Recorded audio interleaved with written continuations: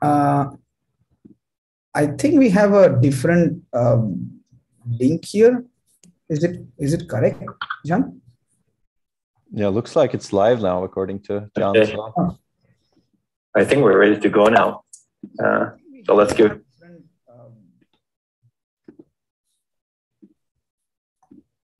Okay. Yeah, looks like we're live, so uh, let's get started. Okay. Sounds good. Okay. Okay. Uh, I guess welcome everyone for our uh, last uh, Safari Live seminar of 2021.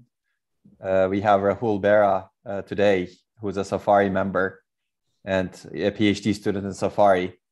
And Rahul is going to present uh, the work that he has done on Pythia at Micro 2021. Uh, this work introduces a new prefetching framework uh, that uses online reinforcement learning to make, deci- to make decisions. And before joining Safari, Rahul was at Intel Processor Architecture Lab.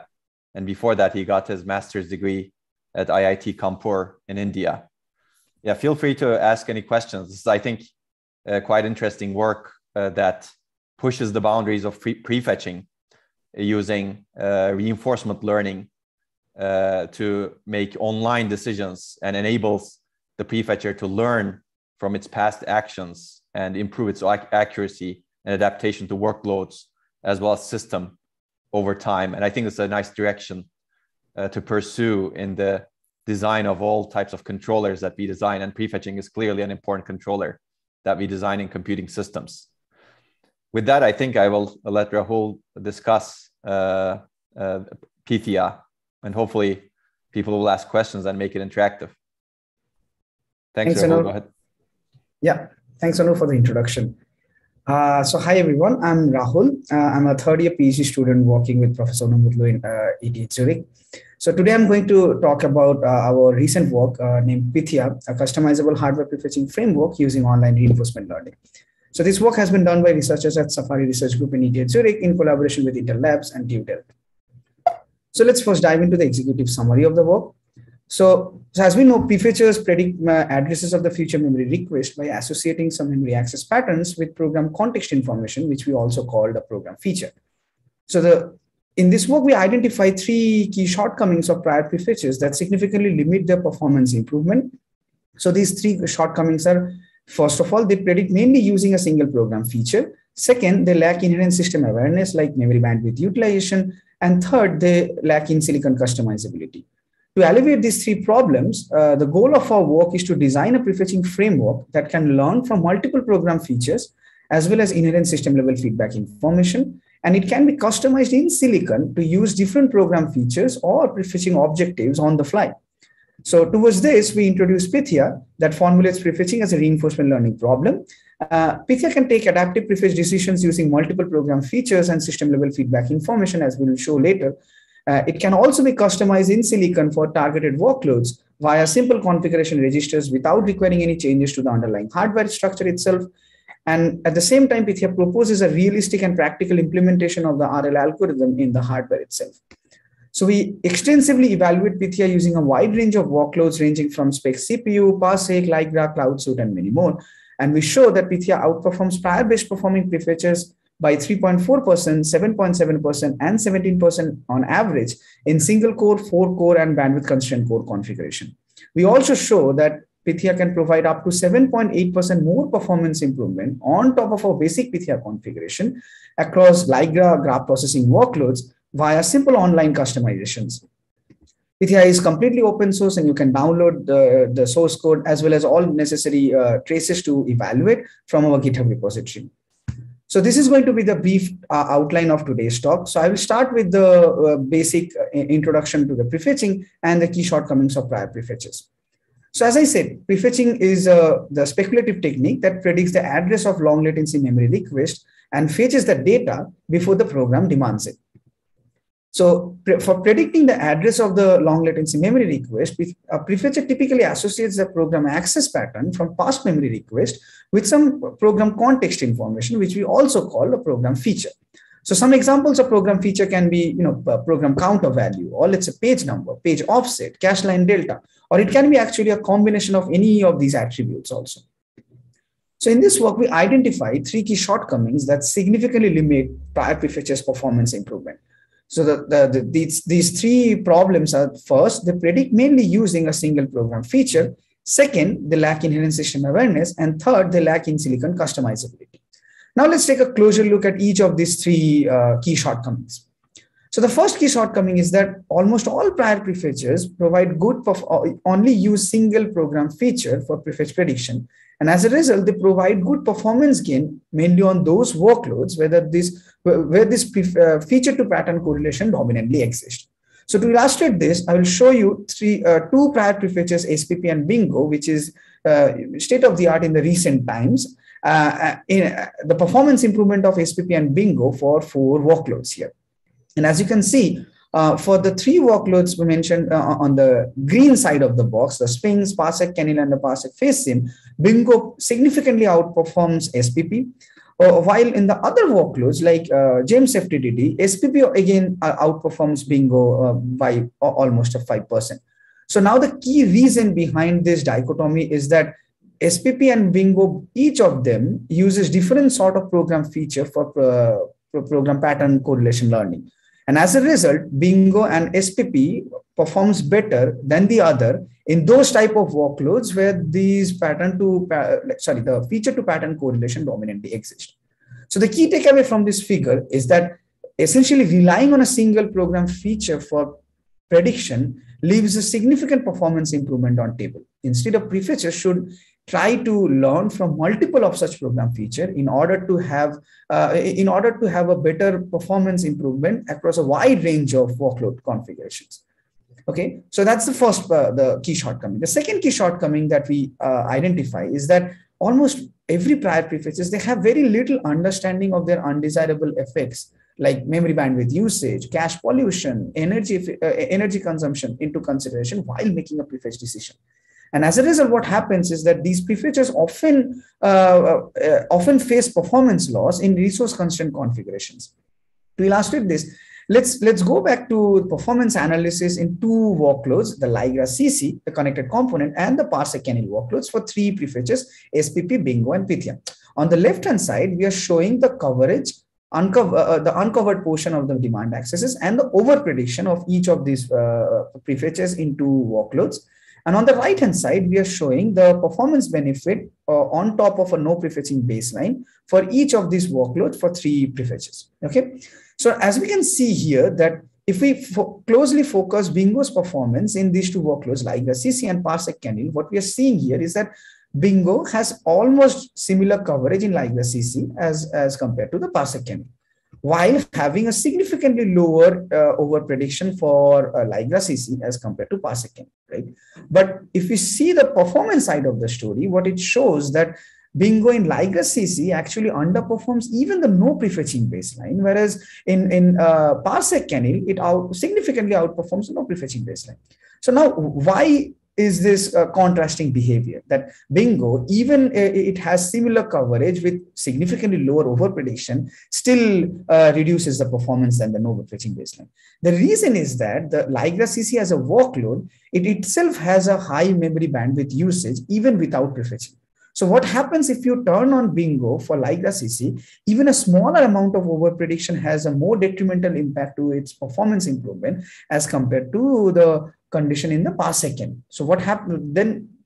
What happens is that even a smaller amount of over prediction significantly loses the performance improvement, while uh, even a bigger amount of over prediction you you end up the bingo end up winning uh, the performance benefits. So the key takeaway from this figure is that a prefetcher might often lose performance benefit due to their lack of inherent system awareness. Instead, a prefetcher should take, uh, take the uh, system level feedback into consideration while making a prefetch decision to provide a, a, consistent and robust performance improvement across a wide range of system configuration. The third uh, key shortcoming is that every prior prefetcher they select the program feature that they want to exploit statically at the design time. And then they create a rigid hardware beside this uh, statically selected feature that is explicitly designed to exploit that program feature. As a result there is no way to change this program feature or to change the prefetcher's objective in silicon on the fly. And as a result, what happens is that these prefetches can more often than not, they cannot uh, adopt to a wide range of workload demands. And if we want to design uh, a new prefetcher that exploits a new program feature, we need to essentially design a new prefetcher from scratch, then extensively verify that design, and then finally fabricate to the processor. And this cycle simply repeats for every new prefetcher design that happens in the wild. So this not only significantly uh, lengthens the design time, but also it lengthens the human effort to design these prefetches, right? So to alleviate these three challenges that I discussed just now, our goal of this work is to, uh, to have the twofold benefits. The first, uh, that we're trying to introduce a prefetching framework that learns to prefetch using multiple program features as well as inherent system level feedback information.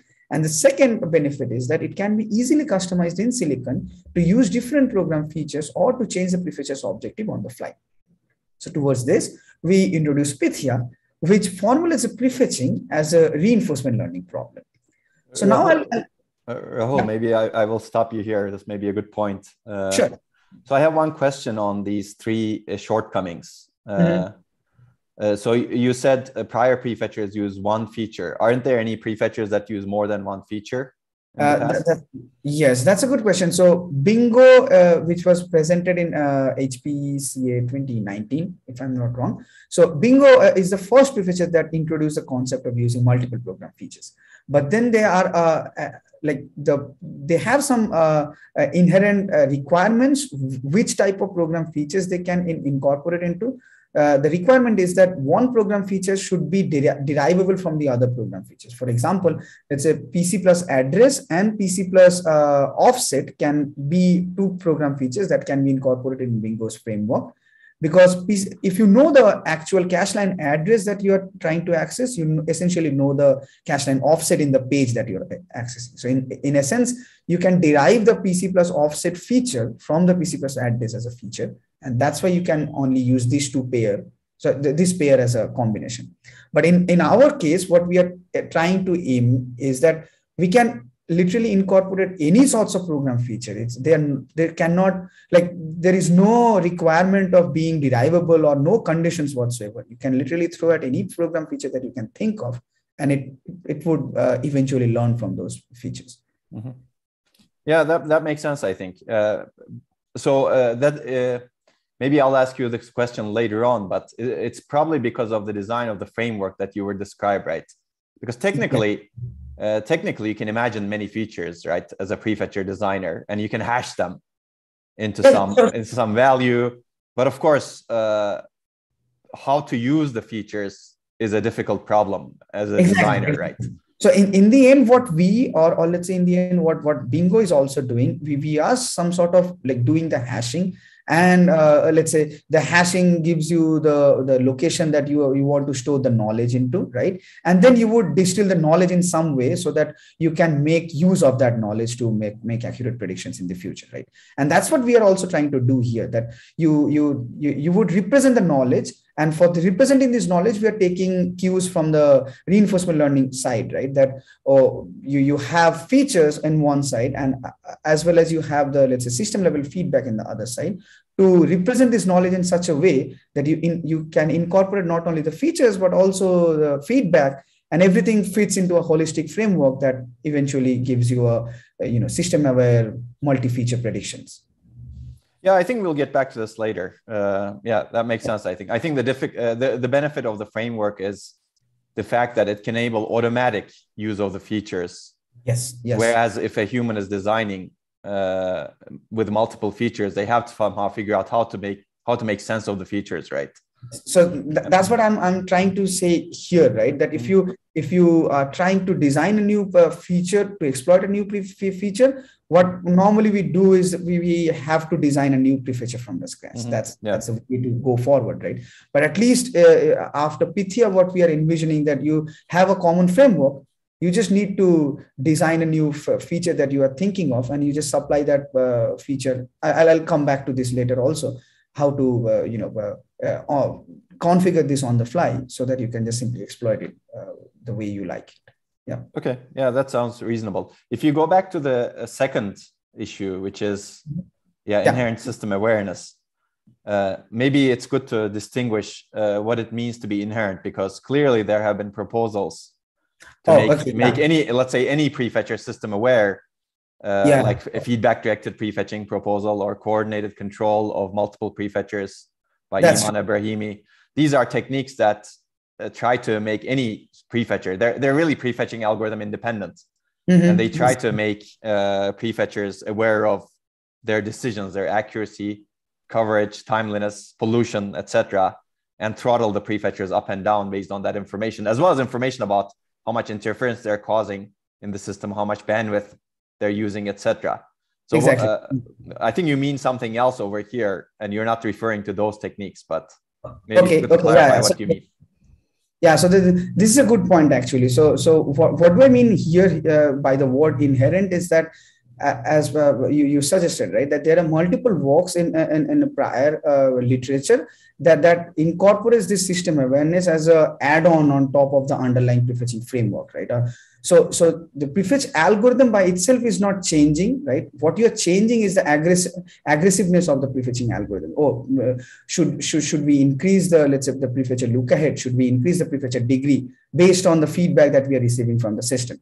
So what we found out in our uh, uh, like exploration is that if you also incorporate this this uh, system level feedback, not as a second uh, second class citizen of this design choice, but as a first class citizen of the design choice, and you essentially design your prefetch algorithm from the grounds up that inherently takes these uh, feedbacks into account to even generate the prefetch request, not curating the prefetch request on top of what you have generated. But even generating the prefetch request, you are taking this into consideration then you uh, finally provide much more uh, system aware, much more, uh, let's say, dynamic uh, prefetch algorithm that can adapt to multiple, uh, let's say, wide range of system configuration than, than what we have seen before.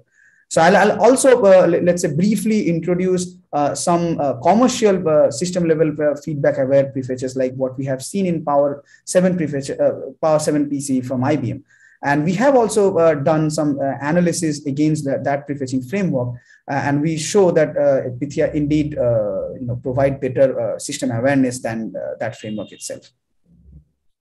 Okay, that, that sounds good. Okay, yeah.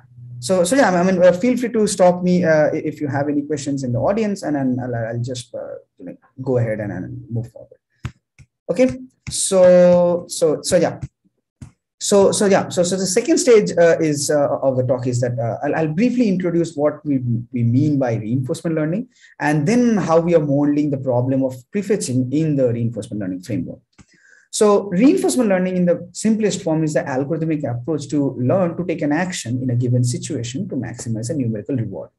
So every rl framework has two key components the agent and the environment. The agent senses the state of the environment at every time step and taking this state into account, the agent takes an action. And for every action, the agent also receives a reward from the environment that it uses to reinforce the correlation between the state and the action. So for, for every state action pair, the agent uh, stores something we call Q value, which essentially uh, represents the expected return for taking that action in the given state. So you can think of it as a, a matrix of uh, that that tells you how good is to take that action in the given state. Okay, uh, so any given state uh, uh, uh st at, at, any point of time, the agent simply selects the action that provides the highest q value. And that's how the RL agent uh, essentially moves forward and then parses the state action space. So in this work, we formulate the hardware prefetching as a reinforcement learning problem where the prefetcher itself acts as the RL agent and the processor and memory subsystem acts as the agent's environment. So for every demand request, the prefetcher or Pythia uh, it extracts a set of program feature from the memory request to the address A and uses this set of program features as a state information to take a prefetch action. For every prefetch action, the Pythia also receives a reward from the environment, uh, which evaluates the usefulness of the prefetch request be, uh, under the given um, system level feedback information. Uh, Pythia uses this reward to reinforce the correlation and to learn what to prefetch in the given uh, state information. Okay, so this is the very uh, brief, uh, high-level view of uh, Pythia. Now let's let's go back and analyze each of these components of the RL agent, the state, action, and reward in our context, how we are defining it. So we define the state as a k-dimensional vector of program features, where each feature is composed of at most two key components: the program control flow component and the program data flow component. So what do I mean by program control flow component? It can be uh, anything, uh, uh, for example, a program counter value, or let's say the branch count, uh, uh, branch program counter value, or let's say a sequence of last three load program counter values, and so on and so forth. And some examples of the data flow uh, component can be, let's say, the cache line address value, or let's say the physical page number, the delta between two consecutive cache line addresses, the last four deltas, and so on and so forth. So you can literally think of any uh, data flow uh, component and any control flow component and create your own uh, feature information by concatenating or, or, or by uh, using these two components together. So for one, so um, let me give you one example of a state information here. So in this case, the state information is composed of two uh, features. So one is the PC plus delta feature and another one is the sequence of last four delta feature. The feature one is for the composed of the control flow information like PC and the data flow information cache line delta. Whereas the feature two is entirely composed of data flow information of sequence of last four cache line deltas. Okay, so, so now let's let's go to the definition of action. So we define the action of Pythia as the uh, selection of a prefetch offset O. So given a demand access to an address A, Pythia selects the prefetch offset O and then adds this prefetch offset value to the demanded cache line address to generate the prefetch cache line address. So the action space, as we can uh, imagine, the action space contains 127 actions in the range of minus 63 to plus 63. Why is, uh, why is this range? Uh, because uh, if a machine has a traditionally sized 4 KB page and 64 byte cache line, so that means essentially you can have, let's say, uh, uh, the, the, options that that that that are in front of you uh, can range from uh, either from 0 to 63 or let's say 0 to minus 63. So that's the action space, the size of the action space, which is 127 actions in total. So this upper limit and the lower limits are actually ensuring that the prefetches do not cross the physical page boundary and also note this that the zero offset is also a valid uh, uh, prefetch action for Pythia, which essentially means that Pythia decides not to prefetch anything. Okay, so uh, as we'll show in the paper that uh, the, we can significantly prune down this 127 action space uh, by automatic design space exploration uh, without having much impact on the performance benefit of Pythia. Okay, so now let's let's go to the reward definition of Pythia. So the reward defines the objective for Pythia, which encapsulates two key metrics. One, prefetch usefulness, like whether the prefetch was accurate, whether it was late, or whether it was going out of the physical page limit, and so on and so forth. And the second metric is the system level feedback information. For example, memory bandwidth usage, cache pollution, the energy consumption, etc., etc. So uh, though the the framework that we designed for Pythia is uh, capable enough to incorporate any type of system level feedback into account. In this paper, we will demonstrate using a major system level feedback of a prefetcher, which is memory bandwidth usage as an example of system level feedback information. Okay. So uh, having this said, we define the uh, reward values into seven distinct reward levels mentioned as follows, the accurate and timely, accurate but late, loss of coverage, inaccurate and no prefetch. So each of these reward level values roughly corresponds to various uh, usefulness of prefetch request. And note that the inaccurate and the no prefetch reward level values are further categorized based on the uh, memory bandwidth usage. So the value of each of these reward levels as are fixed at a design time via automatic design space exploration, but one can change these values runtime on the on the fly in Silicon using simple configuration registers to provide a different prefetching objective to Pythia. Okay, so now let me let me give you a brief example of what do I mean by let's say uh, prefetching objective to uh, uh to a Pythia and how the changing the reward level values can actually uh, uh uh, can actually give Pythia our intention of how we want the prefecture to work.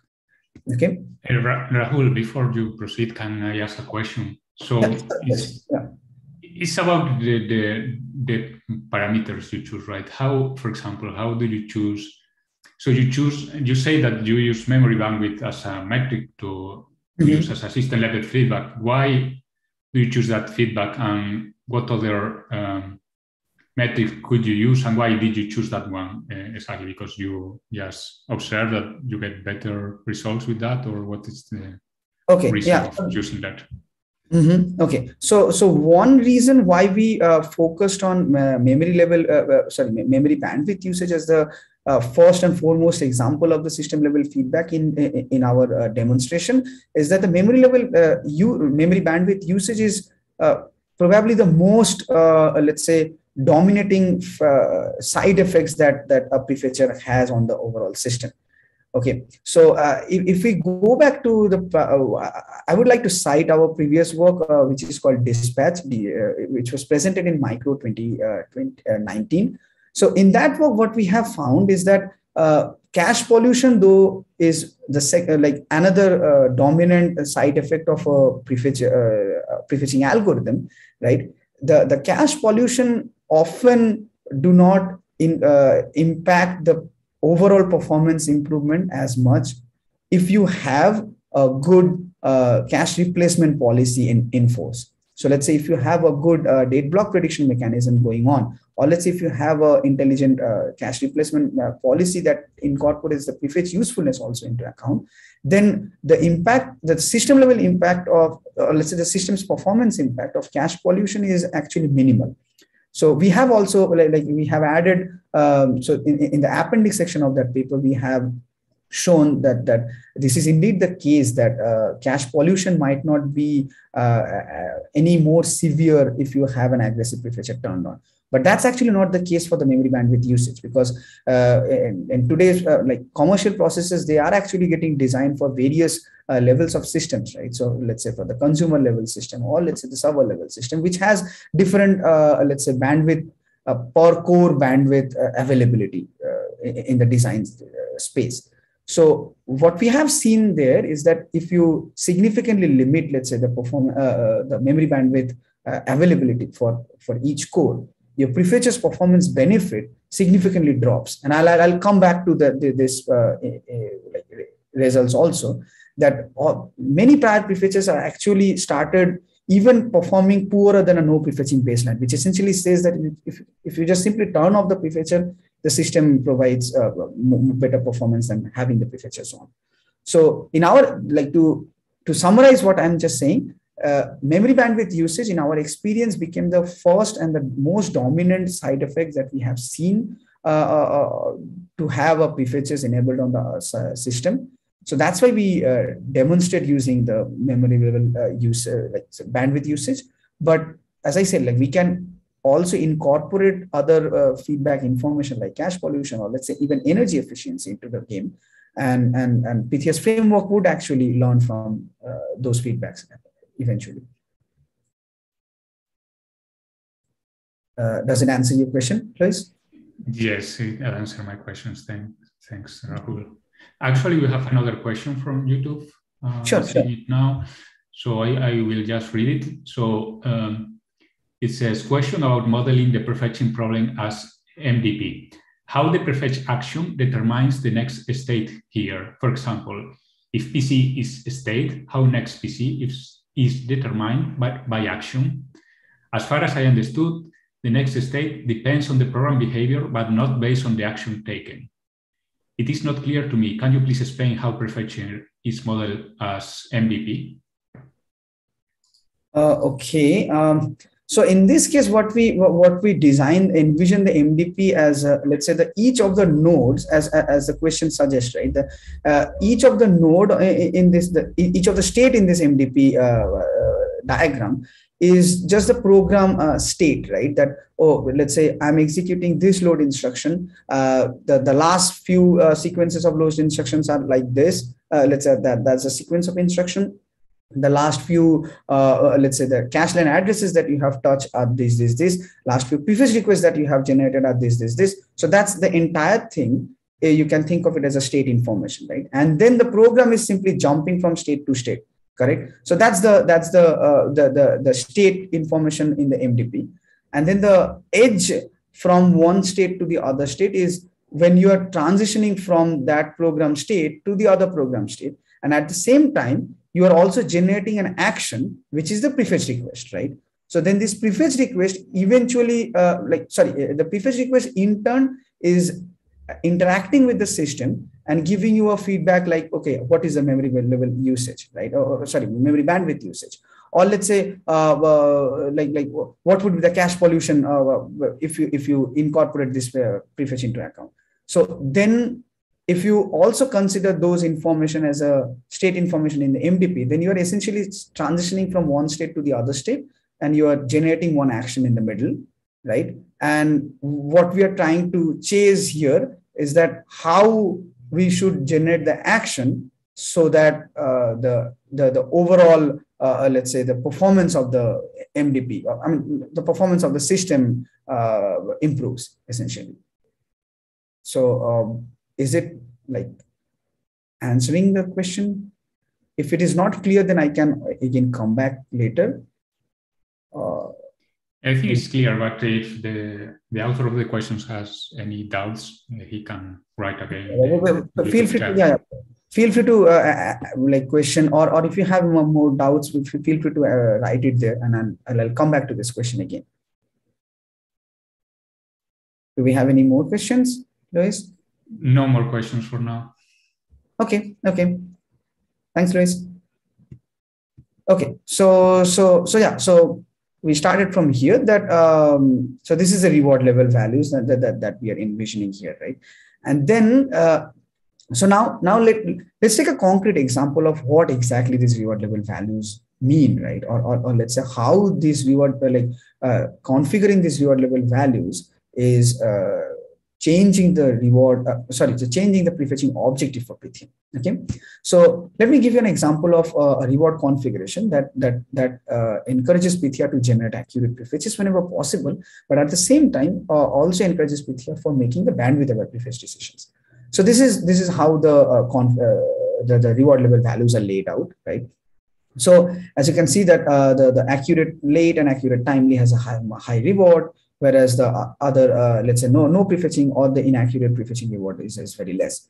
So if we set the reward level values like this, we are essentially providing three key prefetching objectives to Pythia. What? So, so the first prefetching objective is that we are giving Pythia much higher POC to generate uh, accurate prefetch request, whether it's timely or untimely, right? Uh, whether it's timely or late, right? So what, what would do is that it would uh, high like it would prefer highly prefer generating accurate prefetches whenever possible because we are providing much more higher to uh, for generating accurate prefetches. Correct.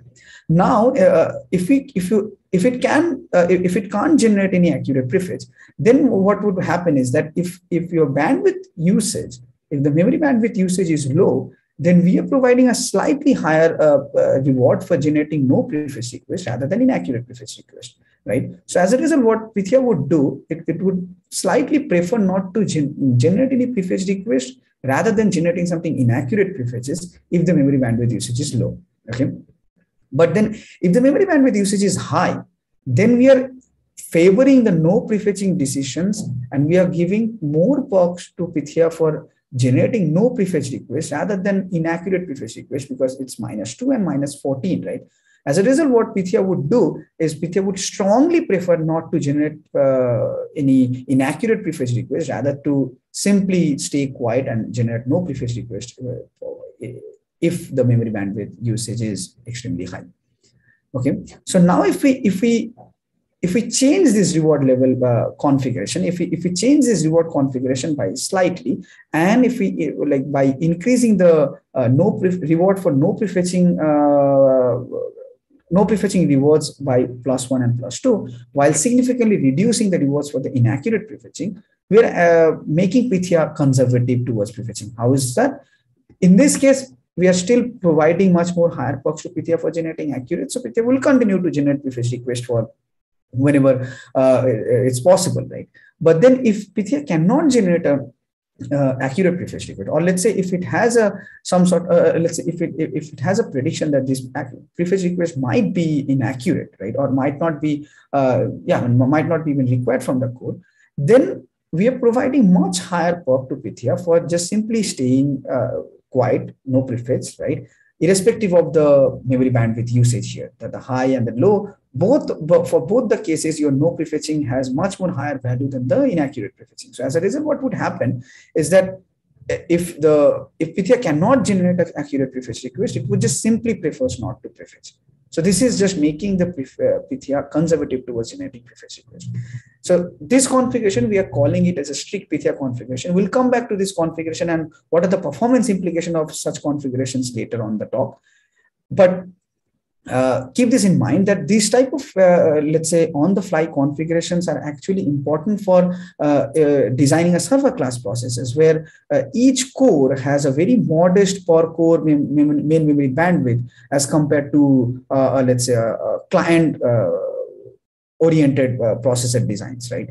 Or let's say if you're designing a processor for let's say bandwidth sensitive workloads for example large scale graph analytics workloads then also this type of uh, strict Pythia configuration might come into hand.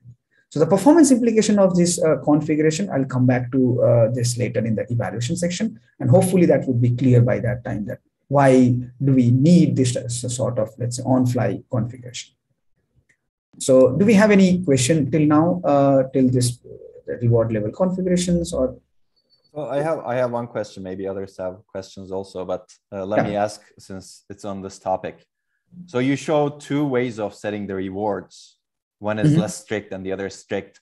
Yes. And certainly, uh, yeah, I, I, can see that uh, these different ways have different benefits. Mm-hmm. Uh, but can this be done uh, while running a single workload? Yes. Yes. Mm-hmm. I mean, so the the way that we are providing these rewards to uh, the framework is via, uh, via simple let's say registers right? So mm-hmm. it's a it's a mapped registers. You can just simply configure these registers on the fly right? Mm-hmm. even while the workload is running.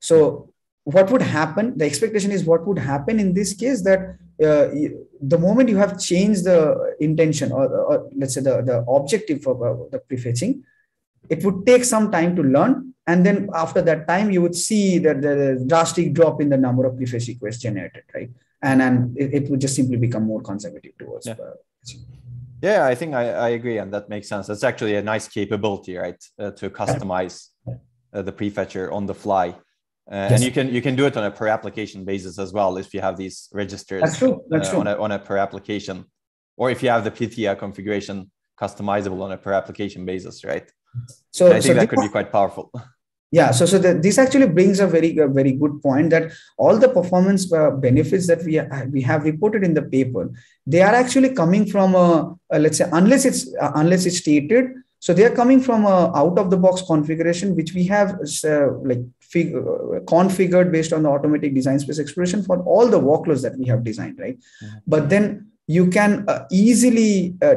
t- fine tune the framework for each individual application and then the overall benefit of Pythia as compared to the prior best performing features would be even higher than that.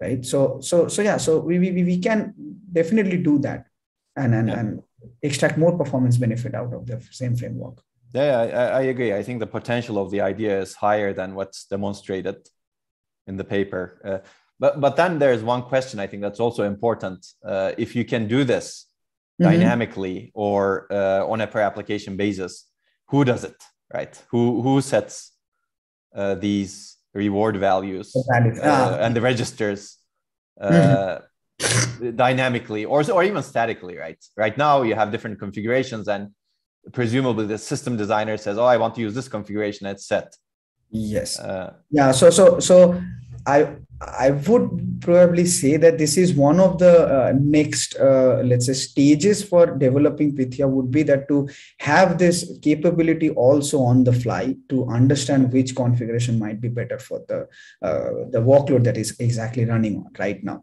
Mm-hmm. But but in the current, uh, let's say, implementation or in the current version of Pythia, what what we are envisioning here is that if you know how, how your uh, let's say uh, customizing your processors for. Let's say if you're customizing your processor for uh, just running massive uh, large scale graph analytics then you know what type of uh, let's say uh, behavior you should expect from those kernels that you're run, like running again and again right?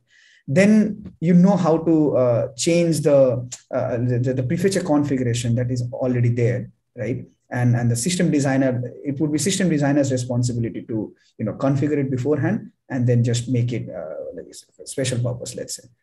But but yeah i mean i, I would totally agree with you on this front that um, having this also uh, changing on the fly without any human intervention must be uh, yeah I mean, it, sh- it, it should be in the, the next uh, let's say target for for the developing this framework. Yeah, yeah.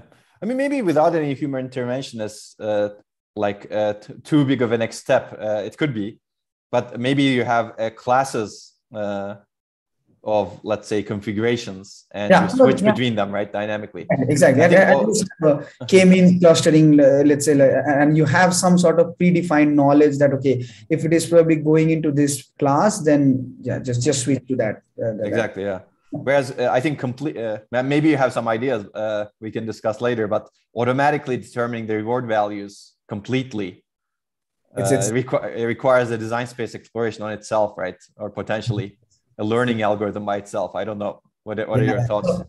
So, so the my thoughts on this direction. Actually, I have tried on, uh, let's say, not only just the reward level configuration, but also the feature level configuration. That the, the feature config, uh, the reconfigurability that we are envisioning. That's also that also has same type of, uh, let's say, uh, drawbacks, right? That uh, if if the designer knows what feature would would be better, then they can for sure ex- exploit that benefit of that feature. But then can we can we deduce these features automatically? So my my thoughts on this direction or at least uh, i i uh, i am thinking on that direction is that uh, so we can do this but the cost of uh, let's say uh, deriving the features that are best automatically without human intervention might require much more complex uh, let's say circuit logic. For for example if i give you the analogous counterpart for on the uh, neural network design, right? That we have the uh, sim- simple uh, single layer perceptron design, and then we have the convolution networks, right? The convolution layer itself is de- deriving these features for us, but then the convolution itself is a very compute intensive task. So then there comes the trade off probably that how much is too much for the system level uh, adoption of, uh, let's say, uh, learned algorithm, right? And then we, we might yeah, I mean, it, it would be definitely, it would be good to see what is the extent of this idea and also what, what would be the pract- extent in terms of the practicality that we can achieve uh, while staying in the realm of uh, implementation uh, Yeah, yeah, that makes sense, I think. Right. Okay. Yeah. So, do we have any more questions uh, from the audience? Hi, Rahul. Uh, Konstantinos. Yeah. yeah. Can I ask you something? It's about the same spirit of customizability as Onur asked. Mm-hmm. So the question is like, what are the limits of Pythia towards uh, customization, and what do I mean by that? For example, you said that we can reconfigure the uh, the features that we use in uh, that we can take into account in our learning learning algorithm, or we can, for example, tune the rewards accordingly, or mm-hmm. some type of profiling. The question is, let's say that the um, system maintainer wants to add, finds out in his application that he and he wants to add a, a new feature into Pythia, or he mm-hmm. wants to add another type of reward. So what is the limit of Pythia? Can we add everything inside the, the chip, the same chip, um, and then let the system maintainer uh, do his job and uh, choose the ones that he wants, or we are constrained in some way, but by the maybe the fabrication or uh, the okay of adding all the possible features and uh, all the possible rewards. I see. I see. Okay. Like, so how can we extend? Is it possible to extend Pythia with new features or new reward? Okay, so then that's a good question actually. So so um, so to answer this question, uh, I would say um, so in the current uh, implementation, what we're uh, the, uh, the the goal here, or, or, let's say the vision here is that you have a list of features that you have implemented right while you are designing this process uh, the, the, this uh, prefetcher right? So let's say for our case we have designed 32 uh, individual features correct? Now what we are limited with uh, what we are limited by is the how many features you can learn simultaneously from. Because that number directly impacts how much uh, let's say on chip space that you would need to devote for pythia. So what do i mean by this? So let's say you have 32 possible feature definitions that you have designed right? But then you want uh, let's say oh i want any three combination of uh, of a feature right? Or let's say i want any four combination of a feature.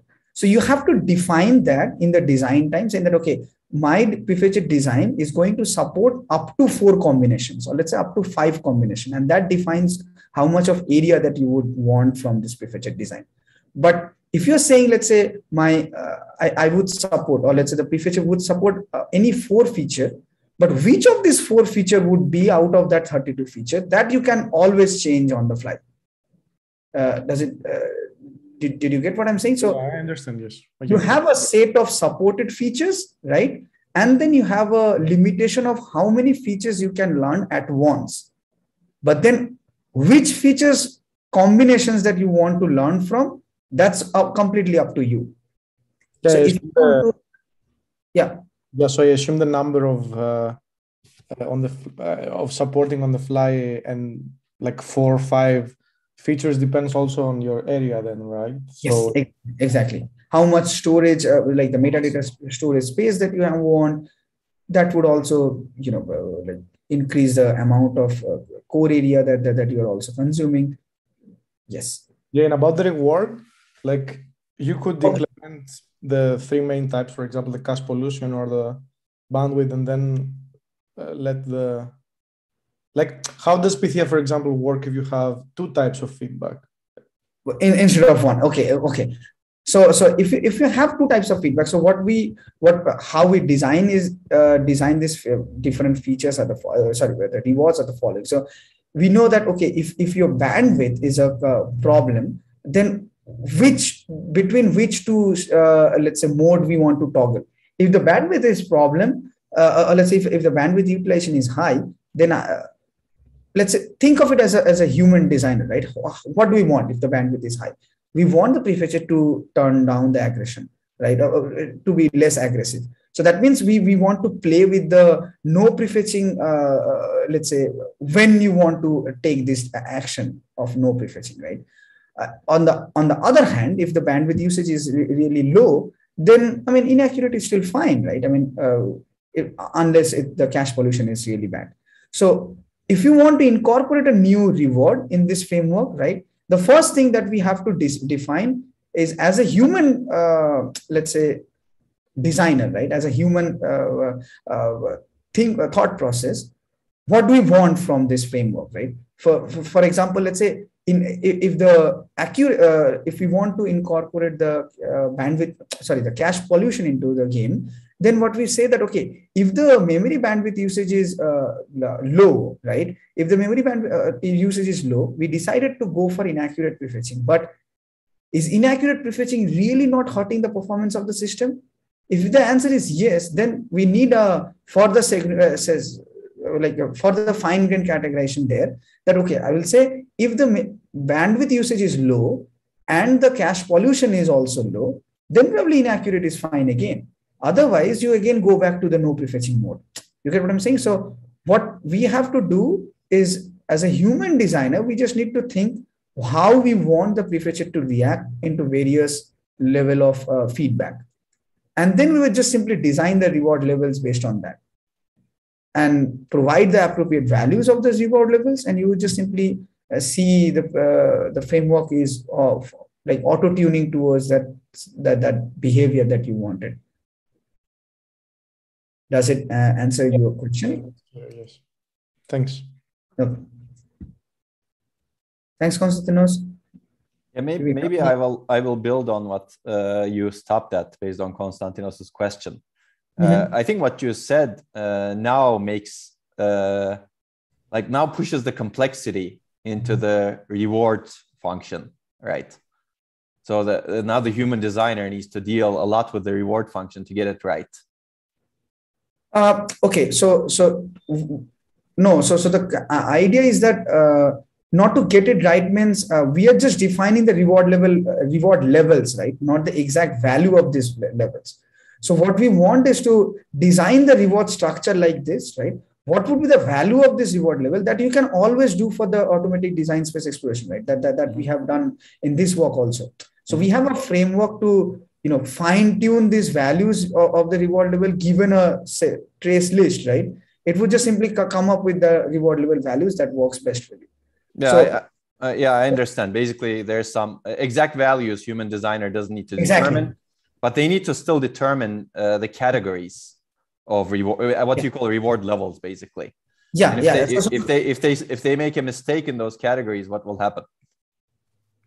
Yeah, then then then the the system would train in a different way that that that, that it is defined, right? Yeah. I mean, yeah. So if if we are giving different, uh, let's say, false reward there is no way that we can correct or let's say the intelligence can correct the false reward right because mm-hmm. reward is in the end what the agent receives as the intention of uh, how it should react to right mm-hmm. if we are uh, if we are providing let's say a false reward uh, i mean false reward let's say for for, for example if i just provide uh, in this case if I, if I, provide a reward for let's say no prefetching to be extremely high let's say 1000 10000 there is no way that the agent can learn that this is not what we wanted to do.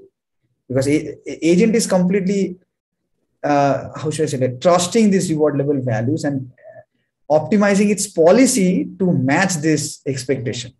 But if your expectation is wrong by itself then the agent would simply converge to that wrong expectation itself yeah yeah and that's i think uh, that's that was my point basically reward function becomes very important. maybe maybe it's not uh, it's so not as, as difficult. Is... Yeah, as yeah. difficult as uh, like guessing the values, of course. No, so, or, so or heuristic-based mechanisms that try to do this in the past. Exactly. So you don't have to set the values. Mm-hmm. You just need to frame it in a way that we, as a designer, would want the prefetcher to react to. So, are yes. you going? To, uh, yeah, are you going to talk about how to how you do that design space exploration for setting the reward function values? uh, in this case, uh, I can I can uh, go through. So I have some uh, slides also in the in the backup. I can I, can go through uh, how, how, we have uh, set or let's say what is the design space that we have looked into and, and how. I think yeah, I think that'll be useful actually. Maybe not right now, but when when you talk about the results, I think it'd be useful sure. to talk about that design space. Sure, sure, sure, sure. We, we, we can go there. Yeah, yeah, yeah. Anything else?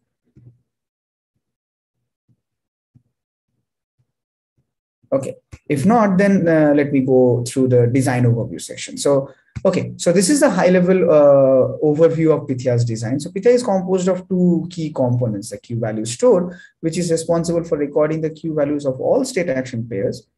And the other component is the evaluation queue, a FIFO queue of the recently taken actions.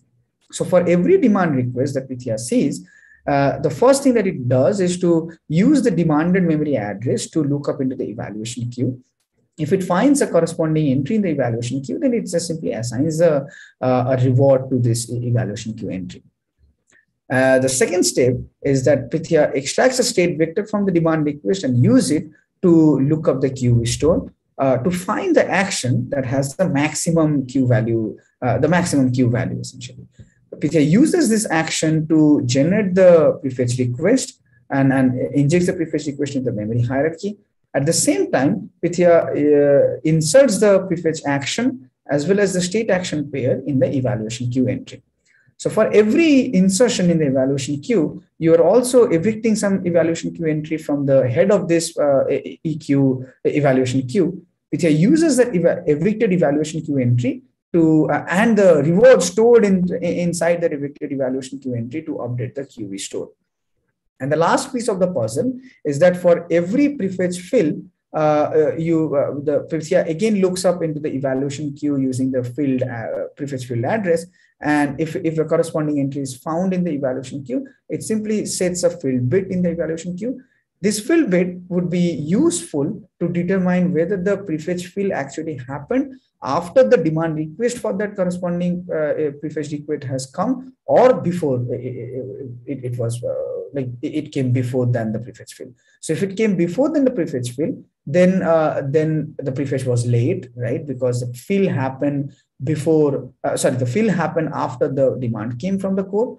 Uh, but if the fill happened after the demand came from, uh, sorry, uh, the fill happened before the demand came from the code, then the, the corresponding prefetch would be uh, timely as well as accurate. So, so now let's take a closer look at how Pythia generates the prefetch, uh, like prefetch decision, right? So for generating every prefetch decision, Pythia needs to look up the Q store to find the action with the maximum Q value. So for in this case, let's say the, the we take the same example state vector into consideration. Let's say this is a vector of two features, the PC plus delta and the sequence of last four deltas, right? So Pythia uses the state vector to look up the QV store to retrieve the Q value for each action individually. For example, let's say the uh, prefetch offset plus one, prefetch offset plus two, plus three, and so on and so forth, right? Uh, after retrieving the Q value for every action, Pythia finds out which action has the maximum Q value, and then it uses that action to generate the prefetch request. So essentially, what it means that for a fast prefetch prediction, we need to have a fast retrieval of Q values from the Q store because we need to retrieve the Q, uh, Q values for all the possible prefetch actions, right? And so the fast retrieval inherently means that we need an efficient storage organization of the Q values in the Q store itself. Now, a very naive way of organizing the Q values in the Q store can be a simple monolithic two-dimensional tables, right, which is indexed by the state and the action values. But the problem of a monolithic two-dimensional organization is that the state space ex increases exponentially with the number of bits required to represent the state. For example, uh, this, this example state information would require 67 bits to represent one state information, which inherently uh, needs 2 to the power 67 uh, states in the state dimension and the 127 actions in the actions dimensions, which is you know, uh, resulting a gigantic size monolithic two-dimensional table. Right? So such a huge table not only increases the design complexity of the entire prefetcher, but also increases the access latency, uh, access latency of the accessing this table.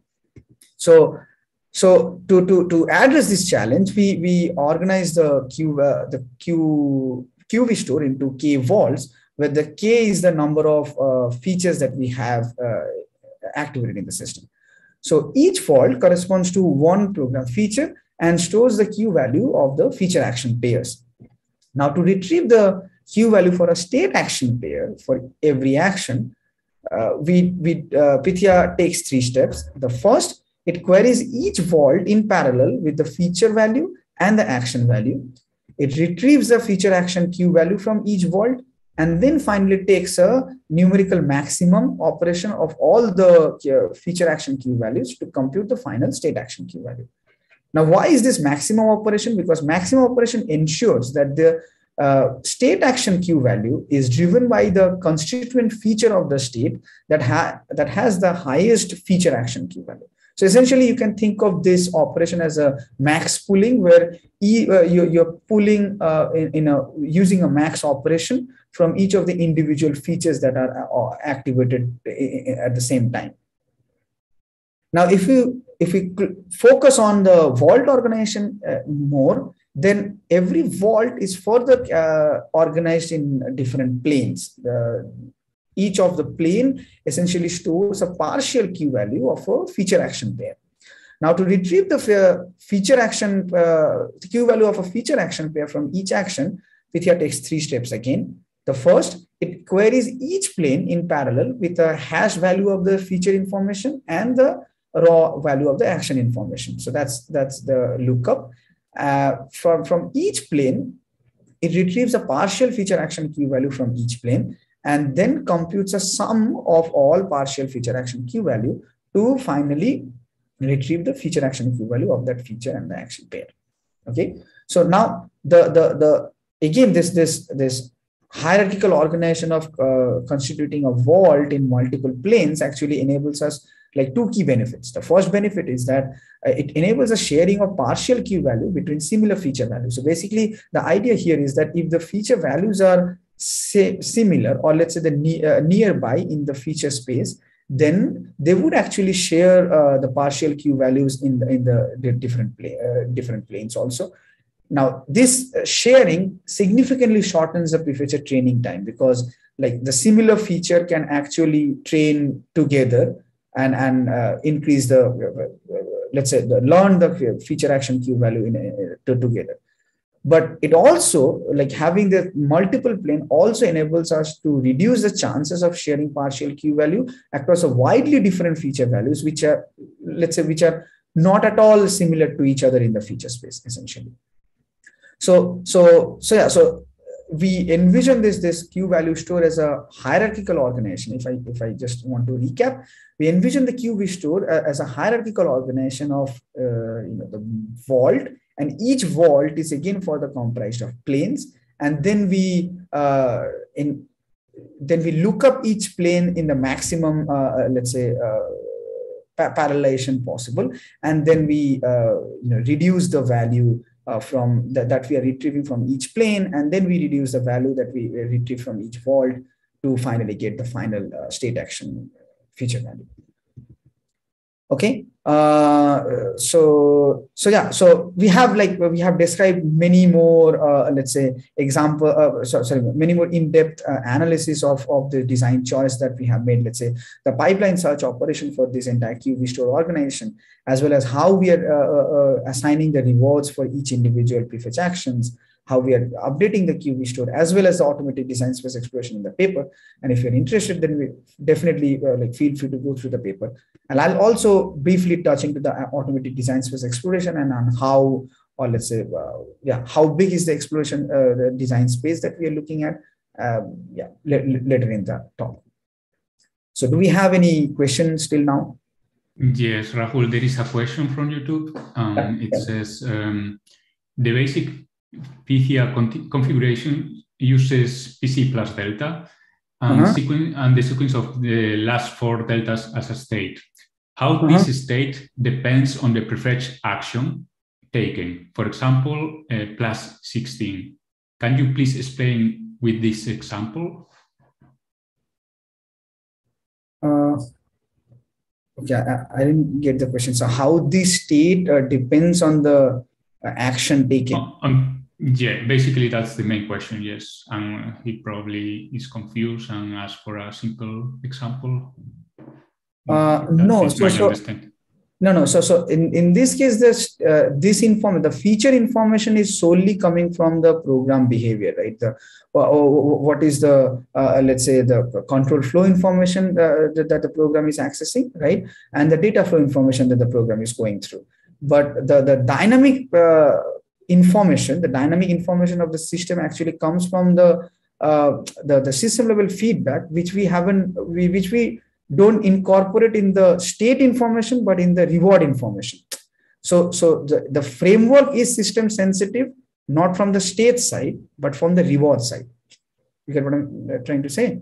So, so yeah, so so the state inform uh, uh, the, the the features that we have described in this in this case the features are purely derived from the program information, but the program and the prefetcher itself is interacting with the system and generating the system level feedbacks also, right? Let's say cache pollution or energy consumption, or let's say memory bandwidth usage. Those are the dynamic information that we again take into, into consideration in the framework, but not from the state side, but from the reward side. So the algorithm, the, the learning algorithm takes this three-pronged uh, approach, right? The state, action, and the reward. But then the components of the system that we are incorporating in different places are coming from different. Uh, yeah, some of them are uh, coming from the state information. Some of them are coming from the through the reward level values, and the action is basically what the action we are taking. Hopefully, yeah, this, yeah, yeah, I think it's pretty clear. But if if it is still not clear, please write it another question in, in YouTube. Mm -hmm. Yeah. You have any more questions? Okay, if not, then um, maybe I can go through the evaluation. Wait a sec. Uh, maybe I can quickly jump into the automatic uh, design space exploration section. If we, uh, so so yeah, so so okay. So let me let me quickly describe. So this is the uh, like a brief, um, let's say the components in the feature side that we have uh, swept from, right? So as I said, like that every feature is composed of a control flow component and a data flow component, right? So the way we have uh, uh, designed the so, sorry the, the pass the design space in this uh, in this work is that we basically we ask ourselves like how many features that you can think of, right? Uh, so as I said, like the feature is composed of the control flow and the data flow. So that means it, you need to answer like how many control flow information you can think of, how many data flow information you can think of. So we actually can think of, uh, let's say this, this four control flow information and the eight uh, data flow information. So now you can literally create a feature, one feature from the Cartesian product of this control flow and the data flow component. So essentially we are looking at a feature space of 32 features which can be composed of any four uh, control flow. And for any of this control flow any of the eight uh, data flow components right? So that means we have 32 raw features to start with. But then the state is actually a definition of a uh, vector of features right? So that means you can literally consider any one combination of this let's say like any feature as an individual uh, uh state information. Or let's say you can think of let's say any two combination of such features right contributes the state information. Any three combination of such features contribute to state information. So as you can uh, quickly guess that it would quickly explode uh, like a lot. So what we do in, in our case is that once we have these 32 uh, features defined within us, right, then we just uh, uh, like sweep through this design space, the, the, the feature space as any one combination of these 32 possible features, any two combinations, so that means 32C2, and any three combination of these 30, uh, 32 possible features, like that is 32C3. So we limit ourselves here.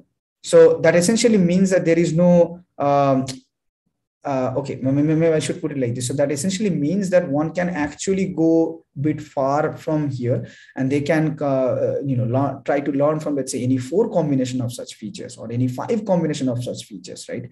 Or maybe they can actually define the feature by itself in a different way by adding, let's say, different data flow component or different control flow component into the game and they can come up with a different uh, let's say feature definition as well as a state definition so so so yeah so to, to go back to what I was saying, that we we explore uh, extensively from the uh, uh, yeah from the from the combination of any one feature, any two feature, and any three feature out of those uh, 32 possible features across all the uh, uh, traces that we have evaluated, right? And then find out the the like it's it's a massive uh, massively parallel uh, uh simulation run right? And then we find out the uh, uh, let's say the the, the the, configurations right? The, the, the feature values as a winner that provides you the highest possible performance improvement. Now one can actually let's say the, the the quick question that can come up to to this type of optimization is that okay so you have optimized this entire feature space exploration all let's say the uh, in any design space exploration that we are going to talk now based on uh, set of traces that you have seen right? So what is the guarantee that these uh, configuration would equally uh, work well for any trace that let's say you haven't seen it before right? Will it will it trash like will, will it trash there or will it work equally well? So to answer this question we have also uh, let's say uh, we, we, have a different set of traces that we haven't actually tuned any prefetchers on top of them. Okay? So those traces what we are calling as an unseen trace right? And no prefetchers like including pythia has been tuned on those traces before. So whatever configuration that we are doing uh, or let's say whatever fine tuning that we are doing we uh, freeze the configuration and then apply the same prefetcher configuration for all the prefetchers into those unseen traces. And we also show that the, the, the, the performance benefit from those unseen traces are equally good as the performance from the seen traces. So we can uh, like say fairly confidently that uh, this type of automatic feature space uh, exploration and the uh, let's say the reward value configuration or which is a feature space uh, configuration can work equally well for the uh, unseen traces also. Maybe uh, let me let me quickly figure out. Wait, uh, it's not make this one. Yeah. So so this is this is the unseen traces. So uh, as I said, like, like the unseen traces are evaluated on on top of 500 uh, like completely different traces which have not been uh, tuned on uh, like any prefetchers have been tuned on these uh, traces before, and yeah, we, we see that similar type of performance improvement, and it's not exactly same as what we have what we are seeing for the tuned traces, but if not better actually in, in these classes of uh, traces so so yeah I, I can come back to this uh, question later or, or, let's say come back to this discussion later if, if any, anyone has uh, you know more uh, uh, questions around this one so this is the basic Pythia configuration that we we finally come up with. So the, these are the two features that we are uh, encapsul- like encapsulating in our system design. These Rahul, are the- maybe before going to the to the evaluation. So there is a follow-up question on YouTube related to the previous questions uh, we asked. Uh, mm-hmm. that is, um, but uh, to apply the SARSA algorithm, we need a state-to-state dependency through actions, right? That's the question. State-to-state dependency through actions. So you mean uh, to, to, to formulate the system uh, via uh, SARSA, uh, is it required? I mean, the, the way that I understood SARSA is that your system is uh, jumping from state uh, from state and action pair to another state and action pair and in the middle you have generated a reward that is r right and then you incorporate this reward into uh, uh, the learning to understand which action you want to uh, take if you have received the same state or similar state again. Uh, i'm not sure whether uh, there is a requirement for the state to state dependency but but i can check with that. So is it the case that uh, if there is no state to state dependency, or let's say if there is no dependency, that the action would finally, uh, uh, yeah, uh, okay. So is the is the concern that the state to state if there is no state to state dependency, then uh, this optimization would fail, or or, or, or what? Because as I said, like um, so in this case, our, our optimization is actually happening uh, based on uh, like two, two things. So the first thing is that given this state, which action that you want to take, right? And but in our case, the state is completely defined as the uh, like the raw program features. So there is no, uh, let's say, dependency uh, from the action that you are uh, covering there, right? But dependency is coming from the fact that all the actions that you are taking is changing the uh, uh, let's say the, the, the feedback the, the feedback we, we are getting let's say whether the memory bandwidth usage is high or, or the cache pollution would be higher or not so so we are not only just taking the action based on a state but also taking the action given the system level feedback information. So that part still remains right? That part doesn't go anywhere. As far as my under my understanding that part still remains. So then then the question that we are trying to the, the, the way that we are trying to formulate is that okay given this state and given this system level feedback information what would be the be, be, best uh, uh, action that you want to take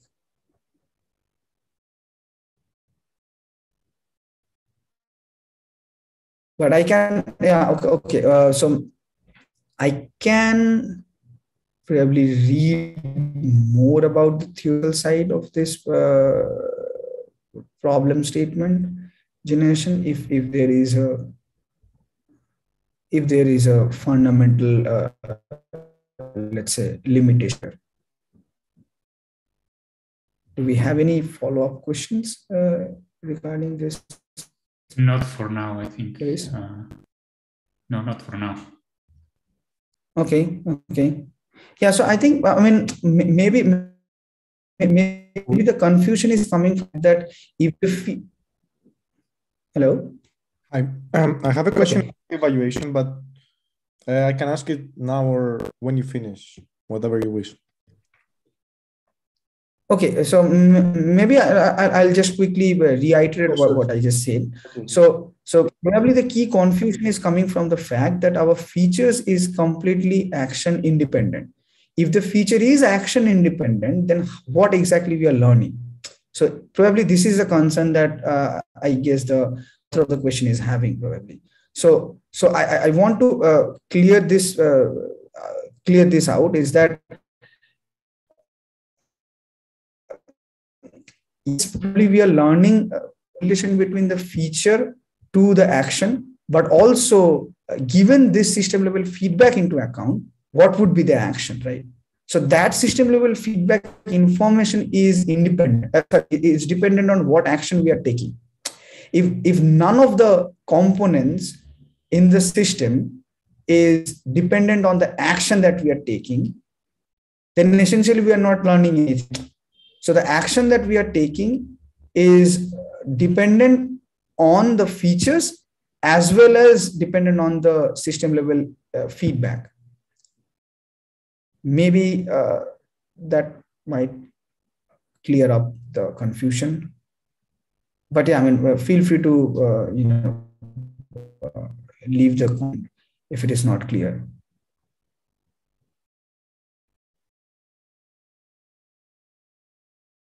Mm, yeah, Constantine, so, do you want to go ahead? Yeah, maybe maybe I'll add something before uh, you continue, uh, Rahul, because uh, yeah, this is I mean this is exactly uh, how I think of it. Also, basically, we have an undeterministic Markov decision process, right? Uh, that mm-hmm. Uh, that has some transition. when you go from state to state, it's potentially dependent on the actions that you take but it's not necessarily also right? Uh, because it's it's non-deterministic. There are things that are not in the control of the agent in the end. Uh, what uh, the markov decision process does is really uh, it describes uh, this transition probability function between the states and the reward function describe the environment that the agent operates in. And you learn uh, based on the actions you take and the reward values you get uh-huh. to navigate that environment essentially no no uh, uh so okay maybe, maybe again I, I want to clear clear this up so if if are envisioning this problem as an mdp mm-hmm. then the bandwidth level information or resolution level information also it gets included exactly. in the uh, state in, okay if, if you're envisioning this as an mdp Mm-hmm. Okay, so if we are envisioning this as an MDP, then the bandwidth level feedback, let's say whether the memory bandwidth usage is high or not, or whether the energy consumption is high or not, right? The, the PC that you're trying to access, the address that you're trying to touch, or the last few sequences of PC that you have seen, all of this information is con- contributing to the state information. But while we are in, uh, implementing this in the framework, we have taken part of that problem to the feature and the part of the information as the reward uh, level categorization. So in the end, we are still learning from both of this information, but then both of this information are not implemented in the same exact, uh, let's say, way. So what do I mean by this? So, so let's say you can also envision a system where the feature actually has the bandwidth as a information. So let's say PC plus delta plus bandwidth. Mm-hmm. yeah, I think I think we're on the same page. Basically, it's it's not just the state that defines your learning. It's really the it's really the entire uh, uh, let's say state, the transition probability distribution that you are potentially trying to learn, mm-hmm. and the reward function, right? It's it's it's all of them together. Yeah. So, so we we deliberately actually we deliberately put the system level feedback not in the feature side but in the reward side because you're okay so i have actually tried out with uh, putting it in the feature side. So why would i even care to drop it from the feature side and incorporate it in the reward side? Is the following.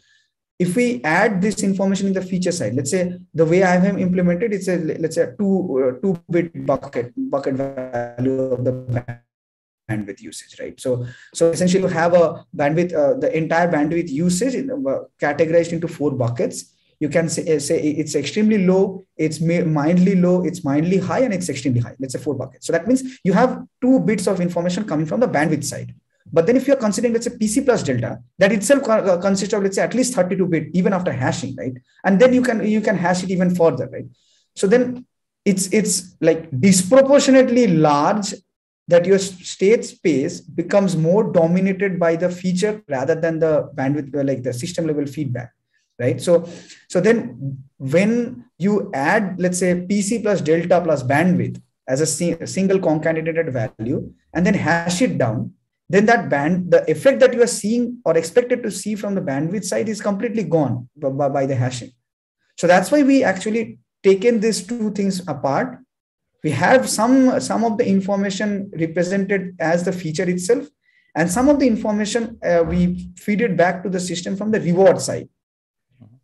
So if we envision the MDP, the MDP itself contains all the information, let's say the system level feedback, what is the state of the cache, what is the state of the, uh, let's say, uh, memory controller, everything should be a part of the uh, state information itself. Now it, it would be up to us how we want to implement the final, uh, uh, let's say, framework, right? That we want some part of this in the feature side and some part of it we are feeding back in the reward side that's what we uh, like did in this case yeah that, that makes sense i think and and it's a practical choice because clearly if you put everything exactly. into the feature size you may lose or you may not have enough bits to represent the information right? And uh, my, my my my my guess would be that even if it let's say having pc plus delta plus bandwidth as a feature even if it would learn that okay there is some uh, let's say side effect for if you have those bandwidth bits like two bits to be 00 or zero one, it would need a lot of uh, samples to even learn from that part. And we cannot afford to like you know train for that long time that's why we make a conscious decision of where to put where so that in the end you you end up achieving what you want to achieve, but not on the let's say the extremely uh, long trainable uh, method. Let's say. Exactly. Yeah. Yeah, I think that makes sense. Uh, maybe uh, maybe if there are any follow up questions, uh, we can we can handle them related to that. Yeah, hopefully, but if it's not, not clear by now, then uh, for sure, like have the question written down there itself, and I'll, I'll try to answer it again. Uh, with yeah that, uh, have a quick question. So, um, uh, fundamentally, I mm-hmm. guess the difference between incorporating the um, bandwidth or the system level feedback to the features mm-hmm. uh, and doing it indirectly through the reward, uh, I mean, indirectly into the learning process through the reward, mm-hmm. Uh, is that in the second case where you do it indirectly, it affects the, the values into the Q value table, right? So essentially, the values are modified based on the uh, system level feedback because the reward is different. You have low bandwidth or high bandwidth, mm-hmm. right? So essentially, incorporate this uh, learning process into this value in the Q value and the memory bandwidth. Um, so that it, the, the state action pairs learn based on these values that are changed based on the bandwidth. True. Value table are changed based on the bandwidth, right? When they did not incorporate the bandwidth in the in case you incorporate it into the, the bandwidth, then you would have a different entry. That's it. You would see history of bandwidth use. Like you would incorporate probably better the history of bandwidth, right?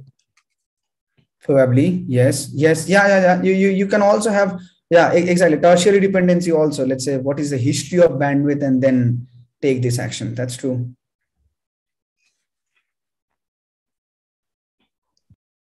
Is that hello? I have another question, but uh, you can finish your uh, talk, and I can. It's about the evaluation, so. Okay. Okay. I'll, I'll, go back to the evaluation now. So, so yeah, maybe, maybe we can have the questions uh, while during the evaluation is going on, probably. Okay. Okay. Do we have any more questions, Luis, from the audience?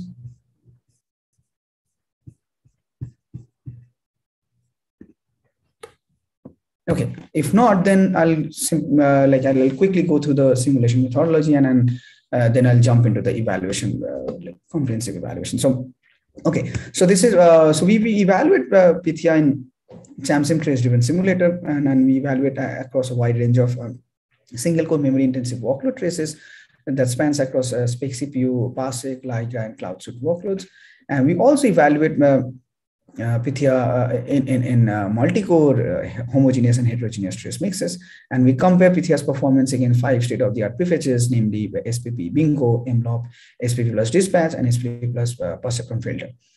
So okay so as i said like this is the basic pythia configuration the out of the uh, out of the box configuration that we uh, have explored in in this like later on in the evaluation and and yeah so this is this is derived from the okay so this is derived from the automatic design space exploration it consists of two uh, features in the state pc plus delta sequence of last four deltas uh, action space contains 16 prefetch offsets few of them are negative most of them are positive uh, including the zero. And this is the reward level value that, that uh, we, we configured with. And later on, we will also show like if we if we go back to that strict configuration that we have envisioned before, how it would change the the, the, the behavior of the uh, prefetcher. So now let's quickly uh, evaluate the Pythia's performance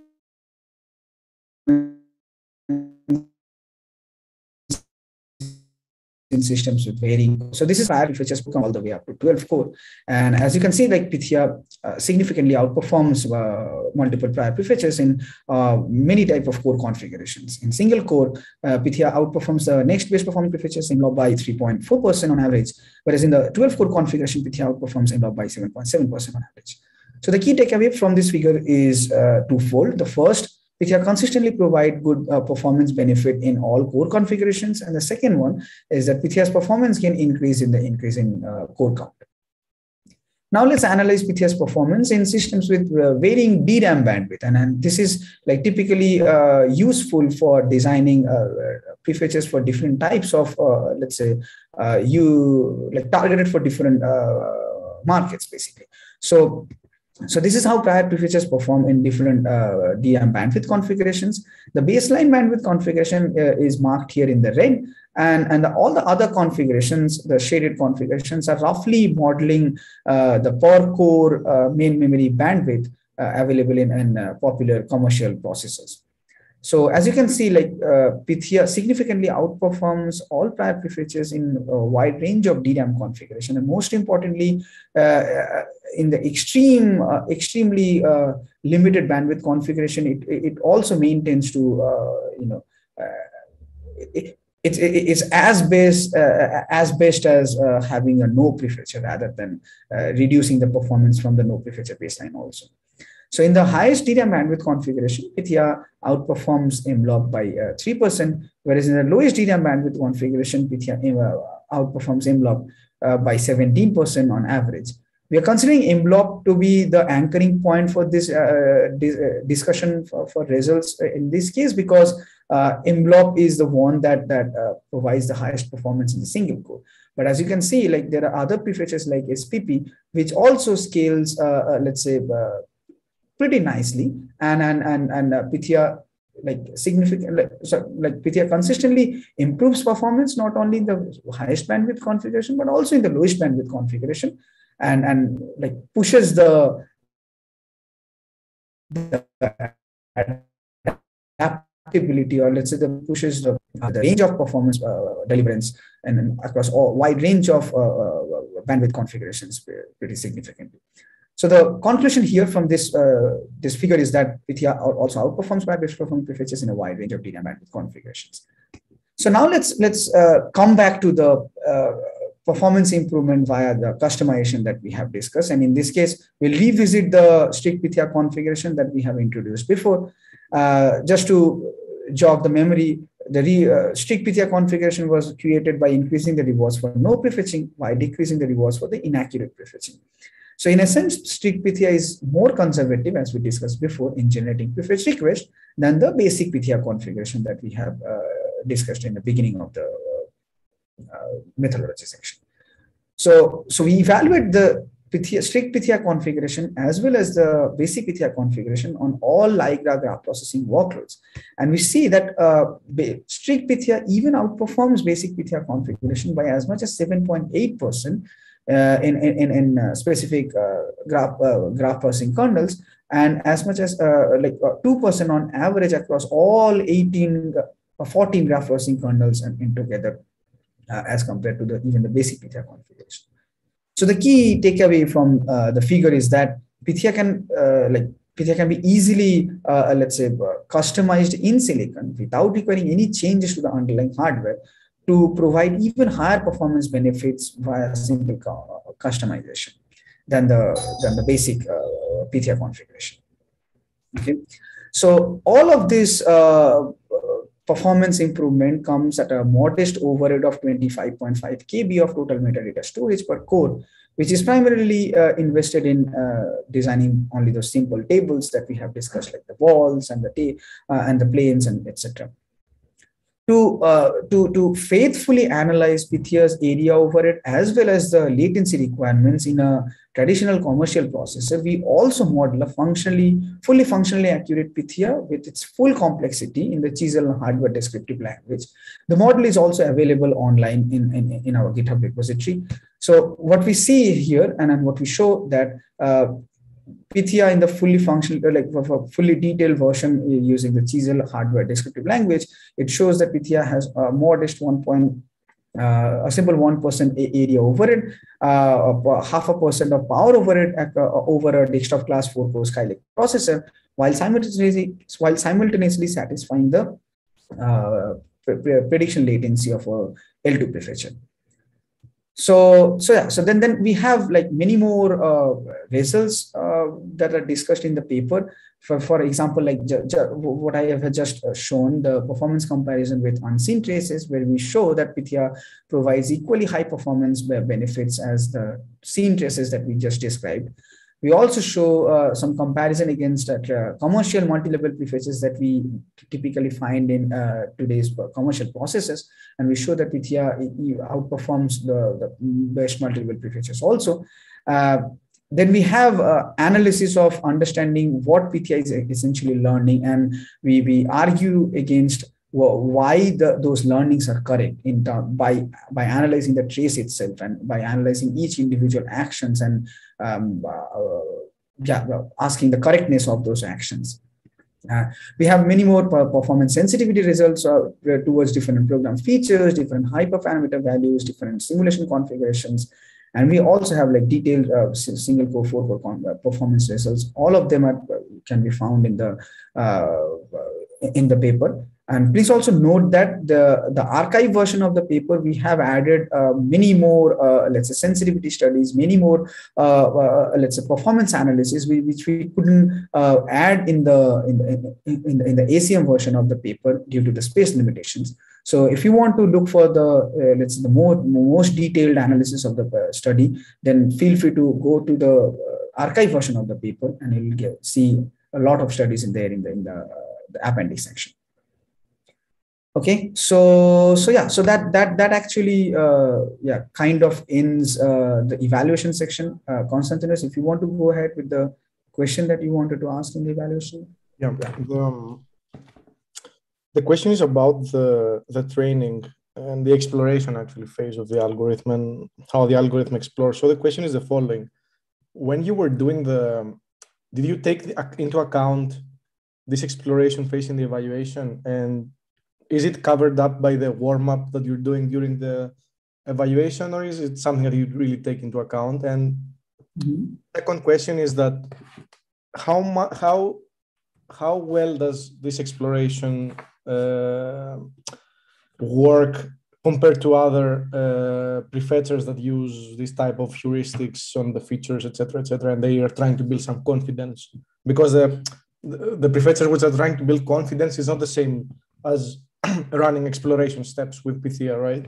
Mm-hmm. mm-hmm. The question okay. is to uh, so, okay, so if I want to summarize what you just asked, is like your, your, your concern is that um, so the RL agent by itself has some exploration and the exploitation phase, right? And, and we have, uh, though we haven't, uh, I haven't shown it, it here that we, there is something called the uh, epsilon uh, greedy algorithm for uh, balancing the exploration and the exploitation. And the question that you are asking is that if it continuously learns, if it is continuously learning, then how much performance uh, wastage that we are expecting from uh, this prefetcher based on the uh, exploration or let's say how long is this exploration anyway uh, as compared to uh, the, the, the prior prefetches correct Yes, and I, I, guess this is important in it's, it's not probably really important in uh, long running workloads that run for minutes or hours. Mm-hmm. It's more important in workloads with short lived functions like serverless computing, uh-huh. of workloads that have short lived. Uh, or maybe this is also uh, uh, uh, also good for let's say uh, yeah if you have context switches right yes, yes if you have also frequent context switches Okay. Okay. So, so to answer this question, so um, I'd like to do the following. So, so the way that we have evaluated and, and we have reported all of these numbers, right? Every bar, every graph that we are seeing here has the same, uh, let's say, uh, methodology of doing the experiments. So the methodology goes like this. So we have um, the, the first 100 million instructions, if it is a single core experiment, the first 100 million instruction we use to warm up the code. And the next 500 million instruction we execute to uh, report the performance results and all the other statistics from the, those 500 million instructions, correct? So now, even with the same, uh, let's say, warm up and the same warm up versus, uh, uh let's say, simulation window, uh, Pythia eventually provides better performance improvement than the other uh, prior prefetches, right? So that essentially uh, gives us confidence in stating this that um, Pythia, Pythia's training time or the time that it would uh, require to explore the state, uh, state action space is not uh, worse than the heuristic based uh, algorithms. Okay. But then the question is that what happens if we, if we uh, let's say, reduce the uh, warm up, right? The, the, the, question that you ask, like, okay, uh, uh, if it is a short-lived function, which is not probably executing in orders of minutes or orders of hours, then you might not even have, let's say, 100 million instructions to even warm up the face. So will it still work? So warm up would be really small, right? So, so to that's a good question actually. So we have done some studies there. Uh, wait a second. Let me yeah. So, so, so this is the this is the performance chart that uh, that I, I want to um, focus on here. That on the x-axis we have so so all the bars, uh, SPP, Bingo, MLOP, and Pythia are shown here. All the bars are showing the performance improvement in uh, averaged across all 150 workloads. Okay, and then on the x-axis, we uh, y-axis we have the geomean uh, speed up over the no prefetching baseline, and the x-axis you have the number of uh, uh warm-up instructions in millions. So zero essentially doesn't mean that it's exactly zero, but in this zero case, we have uh, provided very few instructions for warm up, uh, 5,000 to be exact. Okay. But then we execute 500 million instructions to get the uh, like the statistics. Okay. So what we want to uh, rule out from in the, uh, rule out in this case is that is the longer warm up is giving you uh, giving us the illusion that uh, uh, the, prefetch, the, the agent getting trained in the warm-up phase, and then it can then it can let's say uh, take good actions here or not. But what what we are seeing is that even with the smallest warm-up of five on only merely like five thousand instructions, it still has the similar performance gap as compared to the prior workloads right though the overall overall performance like the overall performance is dropping a bit correct but then the gap between uh, the gap between the prior uh, the performance of the prior best performing prefetches and the uh, Pythia, the lead stays the same. So so the conclusion that i want to make from this this uh, uh, chart is that uh, whatever Pythia learns online right, based on the exploration and exploitation that it does, is still good enough to uh, have a similar training speed as a heuristic based uh, prefetching algorithm. So does it does it answer your question? Yeah, I understand. Yeah, I, it's clear yeah. So so what i want to when like the, the key takeaway here is that even if you have like a smaller uh, warm up right? So essentially you are not giving any chance to uh, the agent to even you know initialize uh, it weight matrix in such a way that at least it can go and do better in the next 500 million simulation instruction.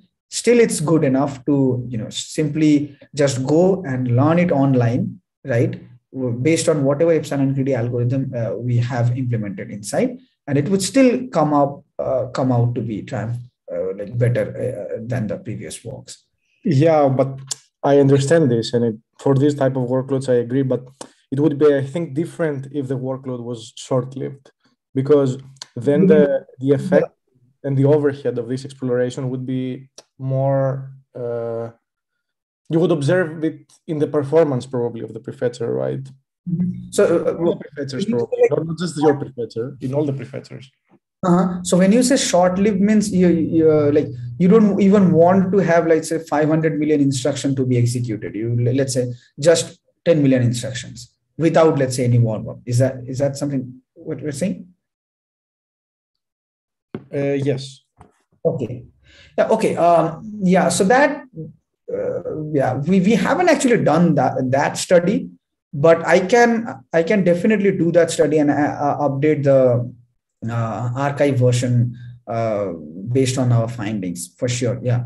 So at least in this study, what we have done is to shrink down the warm up phase.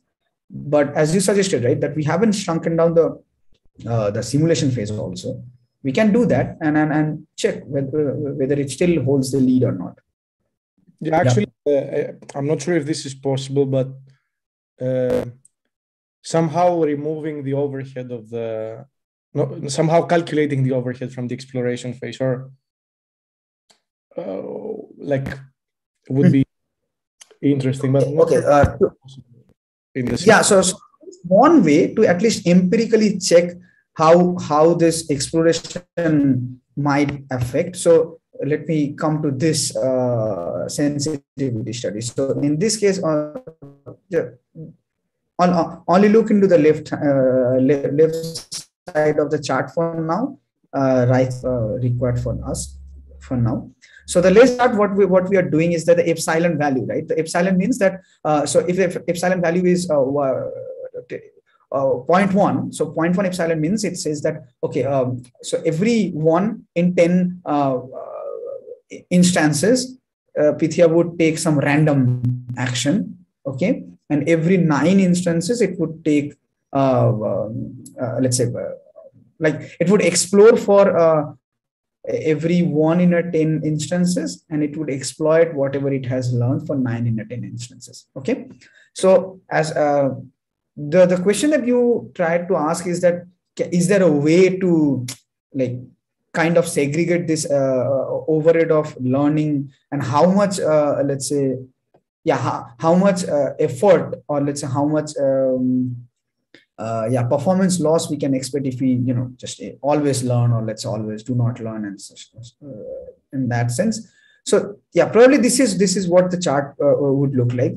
And what what the, the takeaway from the chart is that the following that if you if you so after a point the exp- even if you do a very aggressively less exploration you have so many instructions that you're simulating right? Still those many explorations are good enough to uh, at least give you uh, an optimal value right? But then if you have an aggressively higher amount of exploration right? So essentially what you are doing is that your your agent is simply exploring and exploring without exploiting what you have what the agent is learning right then it significantly drops actually. So in this case the extreme one is the uh, epsilon value is one. So that means it would just simply always explore so it's, it's as good as taking a random prefetch actions for every time. And as you can see that random prefetch ran, doing a random prefetch based on that that uh, the the the, the uh, set of actions that we have is you know like like significantly lesser than what it can achieve if you fine tune uh, the exploration rate so so yeah so uh, uh, like the takeaway in, in takeaway I, would say that we need to like the exploration does indeed have an impact on the final performance improvement but yeah unless you are not making it extremely exploration heavy the exploration should still like uh, a decent enough exploration rate should also provide you good uh, performance benefit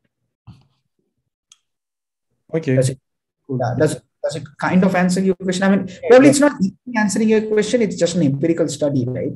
Uh, but it, yeah, you cannot easily. No, I think yeah, yeah, I, I understand. And what I asked is about different types of workloads, also, right? So yeah, actually, okay, yeah. So the, this one is average across everything, so it's not just a workload specific, right? So, so yeah, I mean, maybe that might be also the case that some workloads it might be too much sensitive for training. Uh, or let's say if you have a shorter simulation window also that might fail. Or let's say significantly underperform than the previous works. True true but it, as i said i think it will affect the rest of the prefetchers also not just pythia yeah that that might also be the case that uh, the rest of the prefetchers also learning something right and so maybe that confidence right so Exactly. Yeah, I mean, the, the, the best way to answer this would be to uh, probably uh, do this evaluation and then check by ourselves, right? And then, yeah, we'll, we, we can put it up, put it up in the uh, revised version of the arXiv.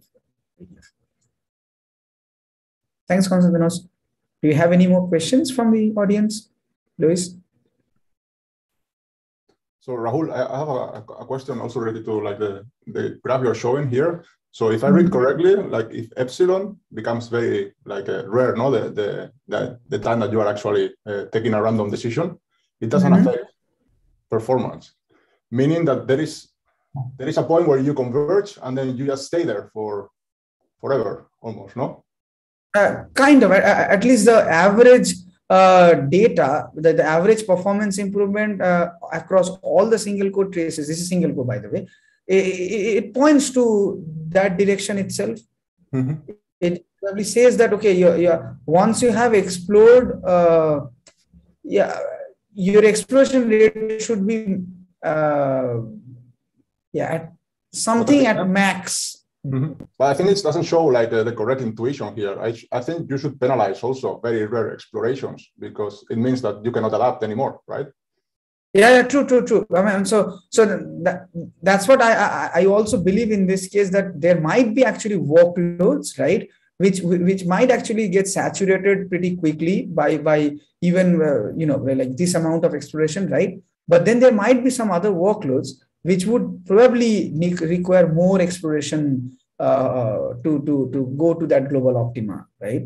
So so so yeah i mean maybe this chart might not say the entire picture but yeah uh, because like uh, this like uh, so is there a way of also of like uh, tuning at runtime epsilon no? Depending on some feedback you get of like okay now i am actually off no? Like with my policy i need to converge to a new one quickly mm-hmm. yeah that that's a good question david uh, so so the, actually there are ways okay there are ways to uh, you know start with a very high uh, exploration rate and then uh, telescopically reduce that exploration rate once you have reached, uh, let's say, a, a, consensus, right? Or like for, to, to, to, to go back to the, um, uh, let's say, to, to, to go back to the uh, domain of uh, deep learning, right? So we have the learning rate, and then the learning rate, let's say, starts with a very small value, and then they increase it, and then they keep on checking in some parameters whether whether let's say from this iteration to the next iteration whether the improvement is beyond a limit or not. If it is still within the some limits that means probably we have converged right? And then we can probably you know try out a new uh, learning rate. So yeah I, I, think that there is a way to do this. It's called probably adaptive exploration or something like that. So so the e starts with something uh, big and then you try to reduce it. We can do that for sure. We can do that but for now i guess uh, like for now i have just simply fixed it in a like a static value. Sure sure sure. Yeah i understand. So but but then like this like have, have you experimented like uh, if you do that for one particular application and you let it like freeze and then you take this state and you just mm-hmm. run it on a new uh, like program so is it really different the policy that you get there from the other one you see? So you mean uh, oh okay okay. So you you mean uh, transferring the learning from one workload to the other workload? Yes, exactly. Ah, okay, so so so this is a good question again. Uh, so right now, all the training that, uh, or let's say, all the way that we have modeled in this case, right? It's like all the traces are getting uh, like starting from scratch, right? The agent is completely initializing from scratch, you have a warm up the agent learns something in the warm up and then you have a simulation correct? But then it's very much possible that we don't have to initialize every time from the scratch the agent. We can literally have let's say once the one trace is done you dump the uh, let's say table uh, like QVStore and then for the next trace you can initialize the QVStore. Uh, yeah right now i cannot uh, let's say intuitively say on top of my head how it would behave. But for me uh, like like the it's not so interesting for the initialization but more like uh, if you can exploit that for reducing the implementation cost of pcr you see reducing the table sizes because you find like a lot of commonalities. Maybe they don't need to be variable but they can become constant for like this instantiation of a prefetcher. You see? Like the, the, table might not be this big anymore. You, you like, can like can, can we do some sort of like a knowledge distillation? You see, page. I understood. Okay, okay. Yeah, yeah. That that, that might be a valid reason actually. Yeah. Yeah, yeah, yeah. I, I haven't actually. Okay, so yeah, I haven't checked this part that how uh, once let's say after the entire uh, training uh, not, not training like entire simulation has been done what is the state of the q value tables for each workloads and how much they are similar to one trace to the other? But maybe they don't need to be similar but sometimes they can be equivalent you know? Even you may not see them as equal but they may have very similar behavior. Yeah probably. So it is difficult like maybe to visualize no? When they are like like i don't know how to plot that no you you, you cannot compare like value by value i guess no no you can i mean yeah so you cannot compare by value by value uh, well you, you can at least that that's that's the easiest. No, I mean like maybe it doesn't tell you the whole truth right like yeah exactly exactly yeah. the, the, ultimate test is like okay if i just like transplant not this to the new like the program is it gonna be still like behaving like uh, optimally or like as good as before yeah that that that's a good experiment actually. I, I can yeah, yeah we can we can try this out. Yeah. Cool. Yeah thanks thanks david. I mean i mean uh, this is a yeah i mean the, this is uh, a, a, a, new uh, let's say uh, direction that, that I haven't actually thought before. But but yeah, I mean, uh, to be, as I say, like like uh, I haven't actually checked uh, what is the like similarity right or commonality of, of the knowledge that that uh, it, it's learning from trace to trace and, and how they are similar across traces. Mm-hmm. but yeah, we, we, we can do that. I mean we can do that to uh, yeah I mean, potentially reduce the training time even more let's say right? Or, or i mean so any okay so i have to be clear about uh, this uh, in this context. So training time means it's not the training time uh, in a the notion of uh, from the notion of the supervised learning right? So in this case the training time is essentially like you are always training right? But then any uh, decision that you're making for exp- uh, exploration is probably a, a, potential loss of opportunity. Yeah so so if we if we can converge to the optimal uh, quicker then that would be even uh, more performance beneficial, yeah, beneficial to more uh, performance. Yeah.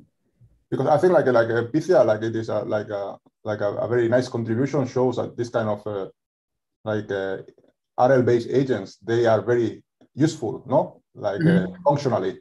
So the question it is like, uh, can we keep the like the utility while making it even cheaper, no? Because one of the concerns that someone might have is like, okay, you show that it is like it doesn't require a lot of memory, but it is compared to other prefetching solutions still more, right?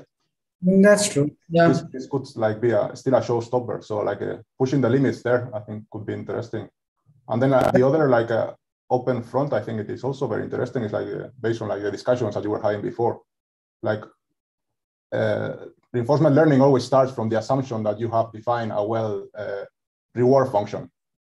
Mm-hmm. And I think one of the contributions that you have also there is the fact that you could form formalize this reward function for the prefetching problem itself.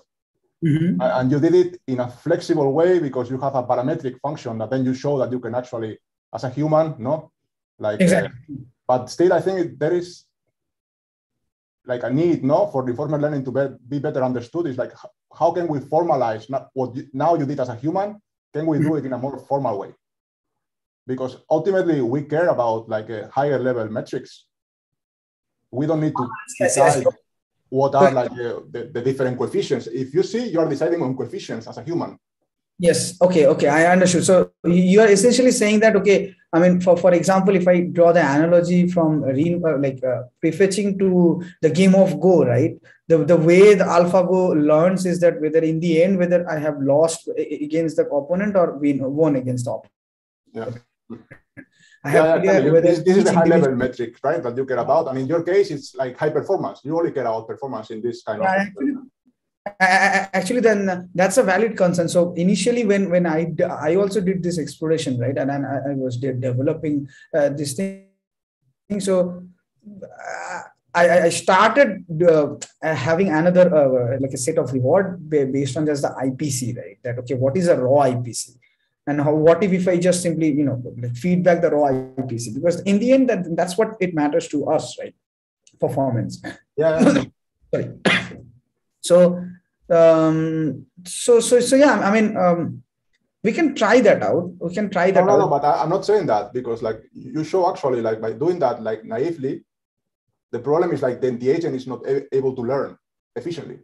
so okay so you have like to interface properly with the agent through like a, like functions, like a reward functions that enable the learning efficiently, which they don't mean that they are the same rewards as like what is your ultimate objective as a designer, which is maybe high performance. So how to bridge? yeah so that, that's that's the question in a, in a kind of in a formal way, no? Like uh, this yeah so uh, as i said like uh, david like uh, uh, as i answer so I, i'd like to answer this with the, the same way that i have answered this question before that I, I really believe that it's possible. It's possible to have a very uh, high level reward right? Which uh, a high level reward given to the agent. And we expect the agent to automatically learn uh, the low level constructs. Like okay maybe to achieve this high level reward what we need to do is probably to prefer accurate prefetches. Uh, and and uh, not prefer inaccurate prefetches if the memory bandwidth usage is high and so on so that, that, that, it can actually infer and i i i i, I hope no, no not i hope like uh, how should i say like i think that it can infer but then the question might be that how long it should uh, okay my, my my guess would be that if even if it can infer then it it needs to uh, see a lot of uh, let's say samples to infer that yeah, but I think like so like if you uh, my take there is like it, there are two different problems. We cannot solve them in the same shot. So like the reinforcement like uh, learning agent, it is not the one that has to decide on the uh, reward function. You see, we have to decouple it. It is very similar in my head to like uh, uh, you know, like for instance, like this kind of reinforcement learning uh, where they have like this auto embedding as a first phase. So they design Mhm. embeddings that then they are used in the reinforcement learning agent later on. So I think like this auto embedding, it's what you did manually now, like as like uh, designing what is the reward Embedding. function.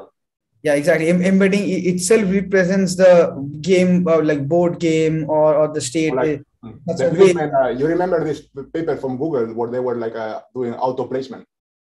chip placement yes Uh, yes So like they, they had also the same problem. They didn't know like, okay, is it a good placement or not? So they created a separate process, not to learn what are good placements and what are good, like in their, in their case, it was cost functions, but we could do the same for reward functions, right?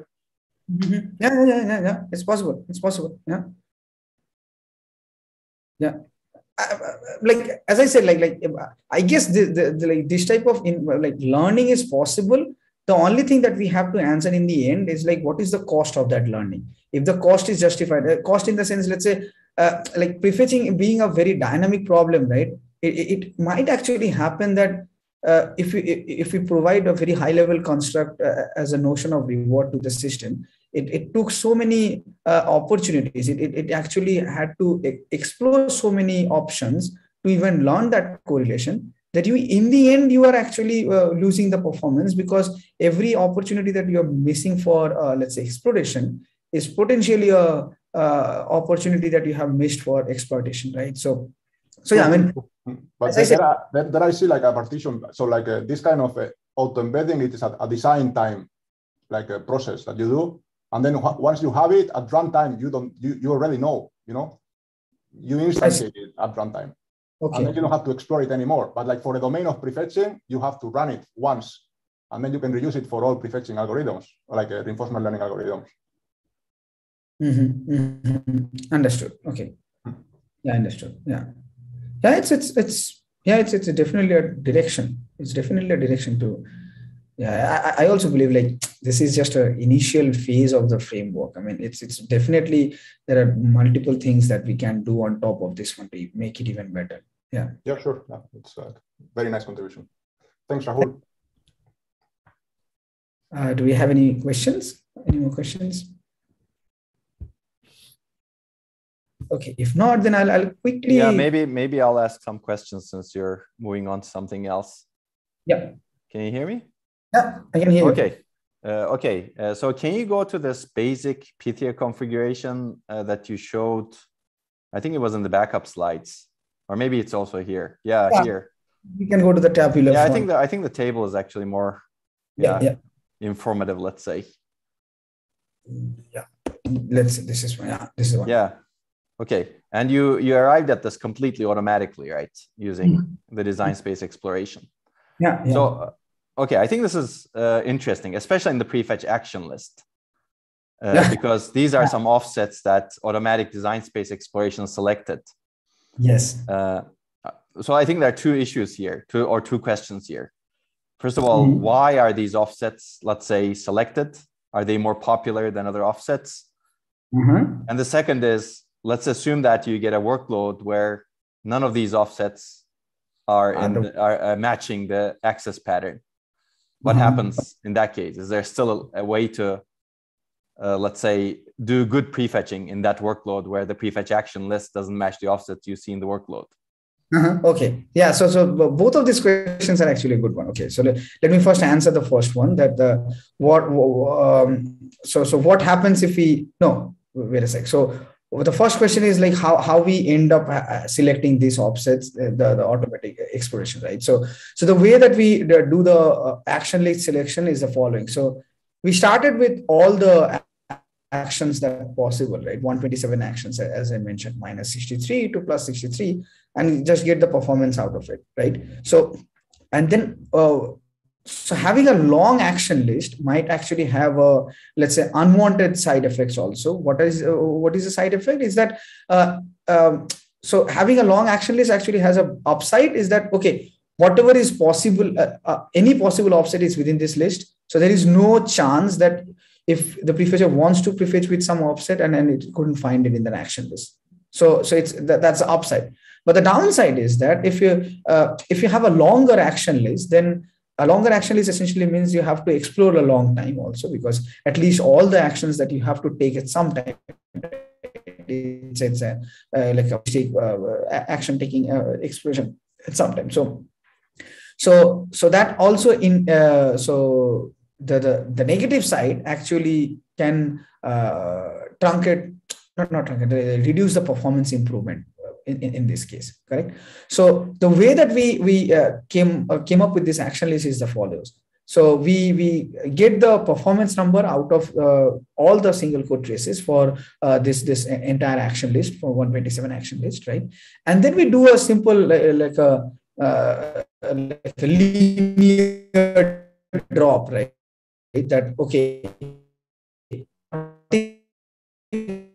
If i just draw action just drop that for you see that okay if dropping a, uh, dropping a action first of all it might actually hurt the performance it might not hurt the performance or it can even increase the performance. Why would might hurt performance let's say one, one trace was there which was heavily using that option uh, the, the, the action right? And then that action you have dropped so it, it would uh, lose performance the performance stayed the same because okay probably it was not even using that, that, that action anyway.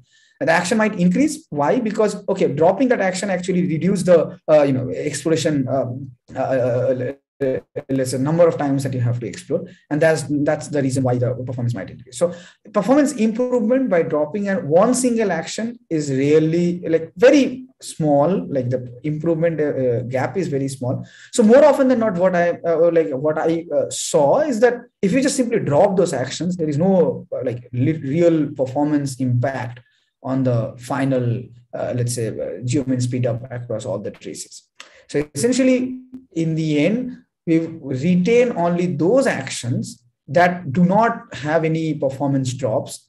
Uh, if I remember correctly, then uh, uh we have set some threshold also, like uh, 1%, 2% of drop. If it is beyond that, like we are not seeing any drop uh, within that limit, just simply truncate all those actions. So the idea is that even if you drop those actions, uh, your, your, uh, final performance improvement might not be as worse as uh, what you started with. So, so, so that, that's the way of uh, selecting the action list. Okay. Now the question that you mentioned that okay, what what happens that if you are you are running a trace and then none of these actions are actually good. So then, depending on the uh, like the feedback that the system level feedback uh, that, that that we have set right, and depending on the let's say the memory bandwidth usage, the uh, needs to decide whether you know inaccurate prefetching is still an option or uh, no prefetching is a better option if the memory bandwidth usage for that workload stays consistently high, right, then it would definitely uh, understand that, okay, no prefetching is probably a better option, then it would just simply stop prefetching. But it, it won't have idea, uh, uh, this idea that, okay, that offset was actually not present in my action list. That's why I cannot prefetch. If that option uh, was there in the action list, then I could have prefetched that. But unfortunately, it would just simply stop prefetching. But if the memory bandwidth usage is low, then no prefetching, uh, sorry, the inaccurate prefetching might still be an option for Pythia, right? Then it would just simply, uh, you know, like prefetch some, uh, yeah, prefetch with some actions, uh, which might end up uh, becoming inaccurate, but it would just simply, you know, inject those uh, memory requests anyway.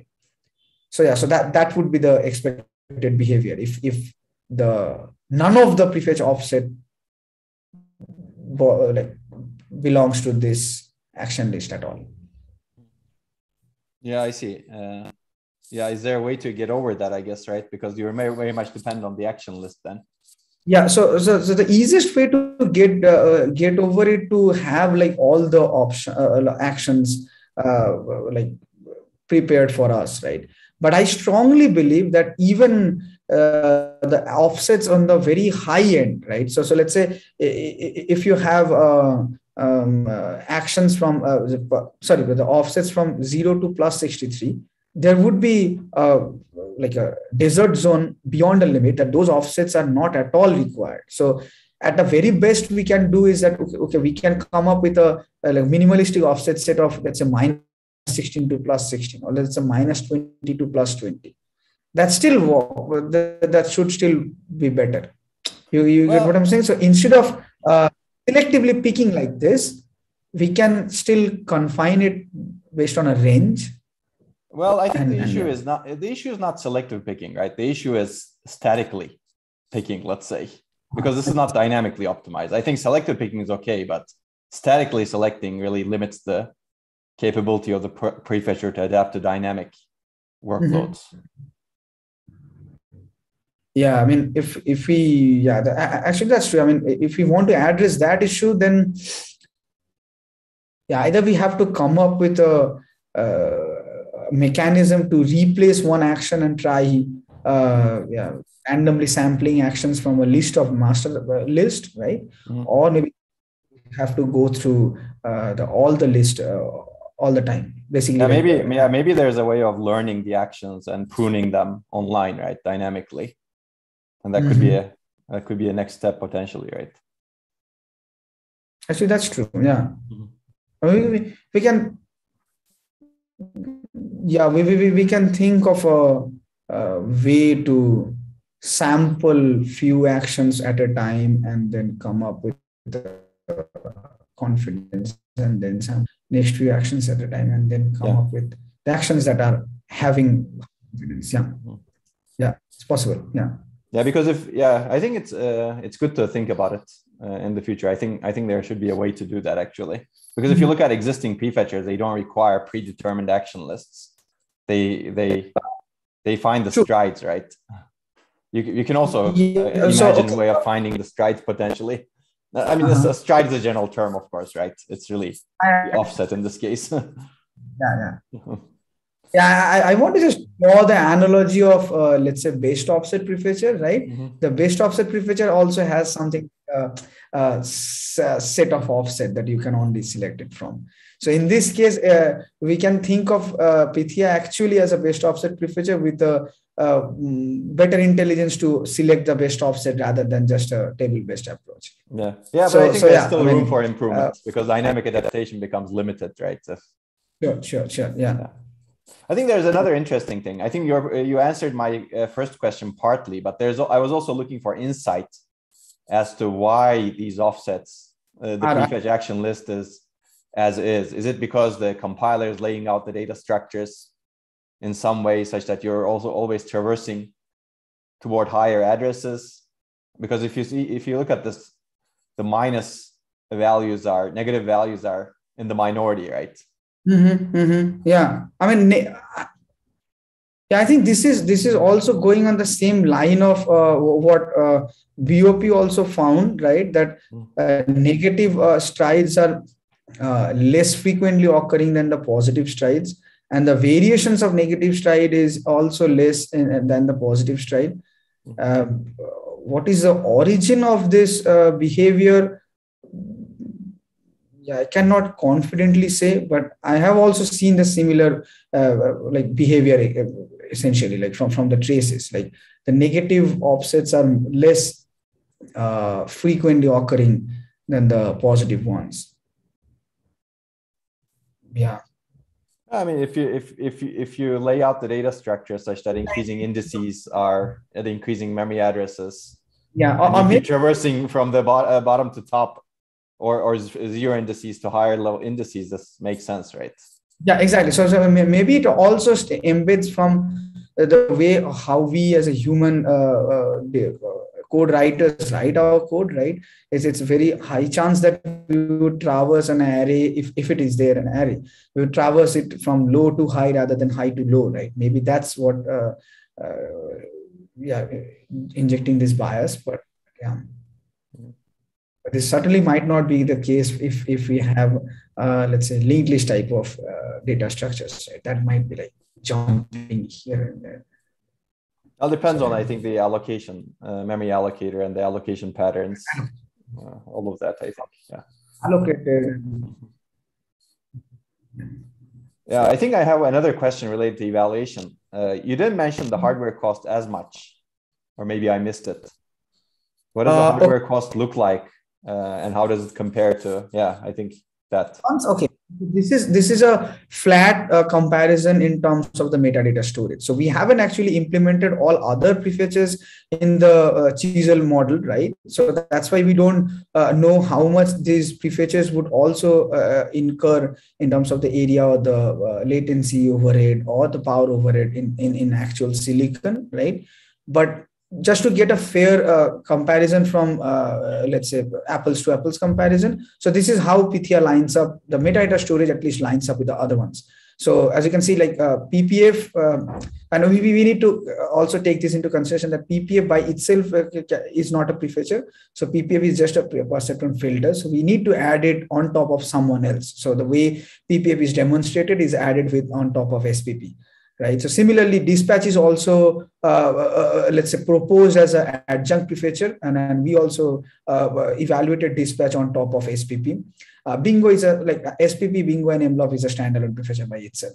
So, so yeah, I, I think the the least end we, we are seeing uh, is probably somewhere around SPP, which is 6.2 KB, right?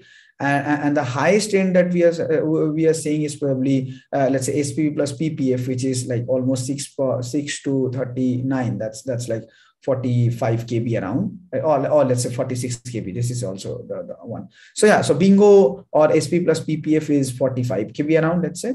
And then pythia uh, lines up at least in, in this co- configuration that we have uh, evaluated with in this configuration it is uh, consuming 25.5 kb around so so so yeah so that that's how the, the, they they tally against each other, each other. Uh, does it answer your question Manu?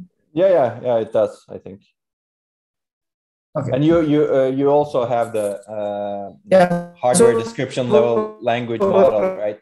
Uh, online. That's only for Pythia. That, that's only for Pythia we have. Okay. Hello? Yeah.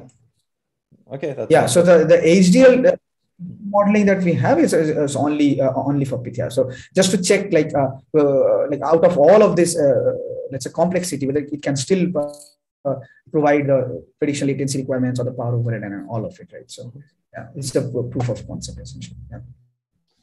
Uh, Rahul, is there a, a way of gracefully reducing the complexity of Pythia while reducing maybe the gap that you have, no, the improvement gap that you have with respect to the state of the art prefetchers before Pythia? I mean, it, it, it, it's possible, right? It's possible to, to reduce it gracefully in this sense that, okay, um, so as a, okay, let me go back to this uh, comparison. Okay. So as I said, like here it, it says two features, two vaults and three planes, right? So two feature inherently says there are two vaults, right? So we cannot do anything here. But then each vault is comprised of 16 planes. We can uh, say that okay uh, sorry uh, each vault is comprised of three planes. We can gracefully say that okay instead of having three planes why don't we try out with two planes also right? That would reduce it uh, gracefully by a, a, bit right?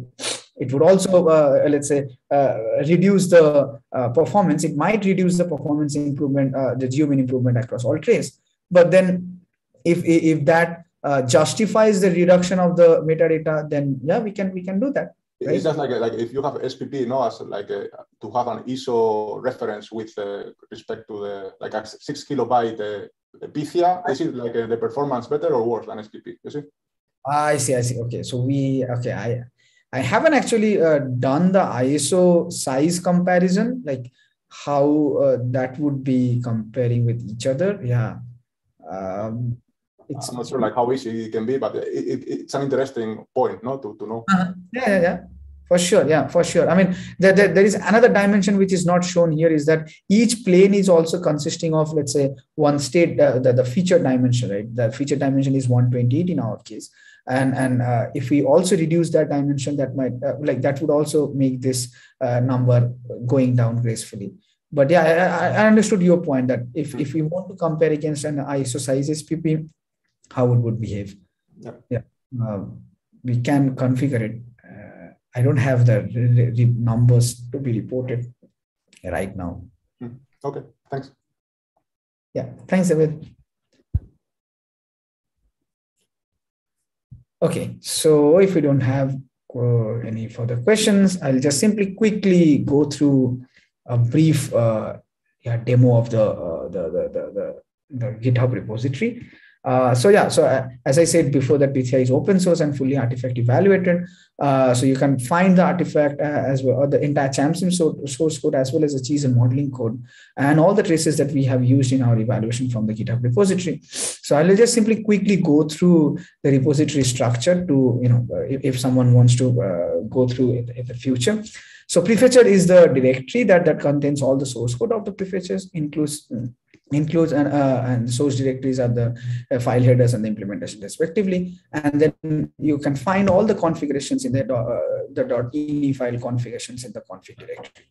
Okay, so the, the source.scooby.cc is the high level file. So yeah, I mean, it's a long story thought Scooby used to be the uh, development name of Pythia at that time. So that's why uh, it, it, says Scooby. So if you find uh, Scooby mentioned anywhere in the paper, uh, sorry, in, in, the repository, it inherently uh, points to Pythia itself.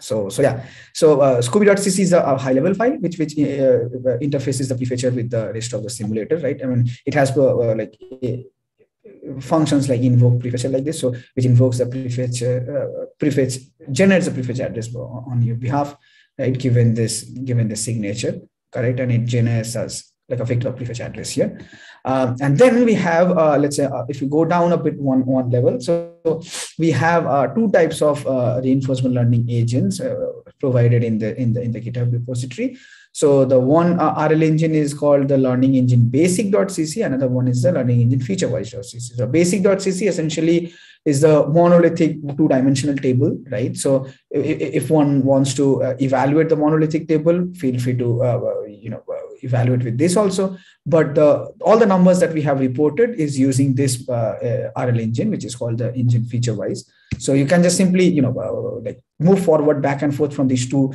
uh, just by using this this uh, as, a, as, a, as a command line, or you can, yeah, you use this as a command line as well as you can provide this in, information in the config.ini file also okay and and then yeah so and this is how the features are defined here right? You, you can find the feature definition in this file include uh, include feature knowledge.h as you can see we have the, this many features. So there are other features also which i have cleaned up for for uh, releasing the uh, like uh, releasing the, the repository for the uh, artifact evaluation. But as you can see here you you, you are seeing like 20 features uh, in this list correct and then all of these features so what you have to do is basically for each feature, you need to define the uh, the, the, the the knowledge. Uh, uh, sorry, how you compute that feature based on the raw attributes that you're uh, finding from the uh, uh, the memory request, essentially. So, so for example, if I if I take an example,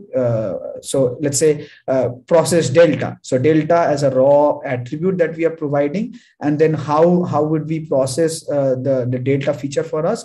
We we we do this this calculation right? Whether if, if it is a negative value then then we do this. If it's a positive value then we make uh, something uh, different. And then we do uh, the tiling offset that we have mentioned in the paper itself. And then we hash it down to finally get the uh, the feature uh, index essentially. So so yeah so so the feature knowledge helper uh, kind of let's say acts as a helper file for the feature knowledge. So you just need to define your own feature here. You need to define the process function here, and you'll be good to go.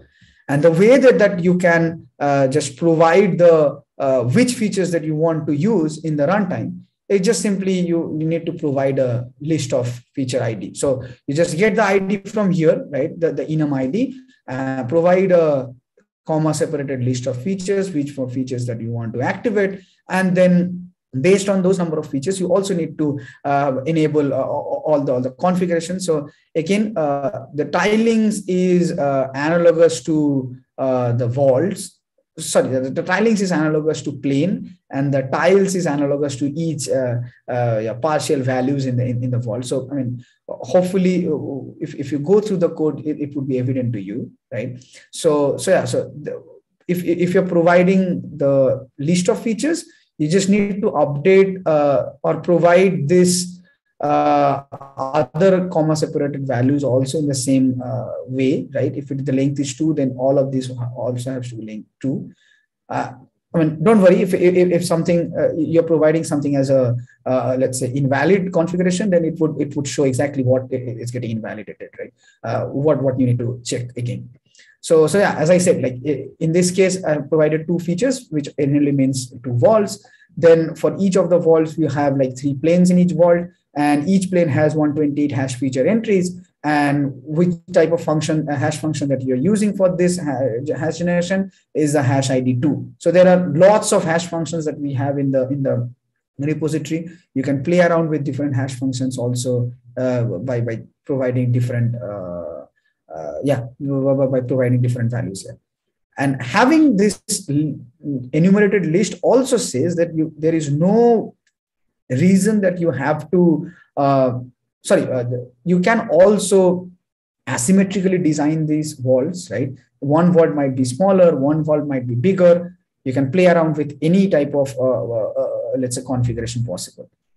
Okay, so so yeah, so if you want to define your own feature, you can easily define your own feature in three steps. The first step, you have to define a new feature uh, enumerated identifier in the feature knowledge.h.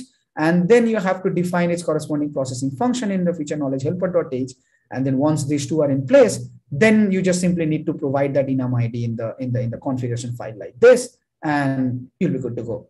The entire entire uh, let's say framework is written in that way that it, it would just simply quickly pick up from there.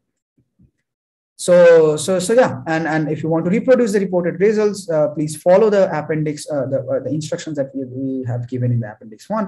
So essentially, the, we need to build the ChampSim, download the traces, and then launch the experiments, and that should work pretty well.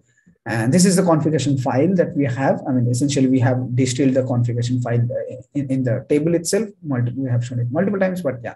So this is the configuration file. Feel free to go through all the all the knobs in the file, and every knob is either active or probably, I mean, it has been uh, deprecated uh, throughout the development, right?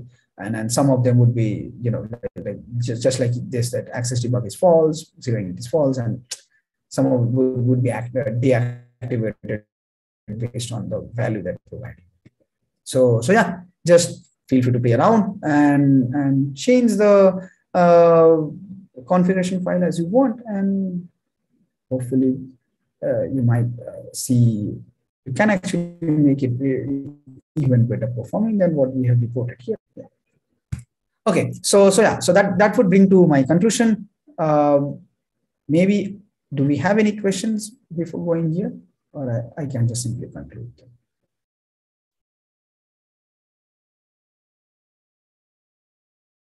Okay, if we any question, I'll just simply conclude by reiterating that uh, in this work, we have identified key shortcomings of bad features. Uh, first, they predict mainly one single program feature. Second, they lack inherent system awareness like memory bandwidth usage. And third, they lack in silicon customizability. So uh, to alleviate these three challenges, uh, the goal of our work was to uh, design a unified prefetching framework that learns from multiple program features and inherent system level feedback information and can also be customized in silicon to use different program features uh, and the prefetching objectives on the fly. Toward this, we introduce Pythia that formulates prefetching as a reinforcement learning problem. And by extensively analyzing the performance res results, we show that Pythia outperforms multiple pair uh, based performing prefetches over a wide range of workloads and system configuration. So, so yeah, that concludes my talk. And thank you for listening. If you have any more questions, uh, feel free to ask it. Thank you.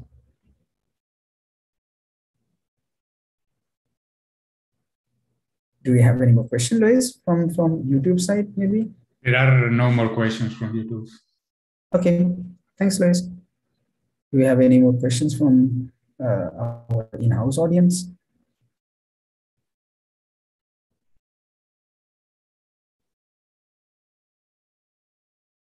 Okay. If we don't have any more questions, then I will uh, yeah, stop my presentation here and pass the ball to maybe. Yeah. Thanks, everyone.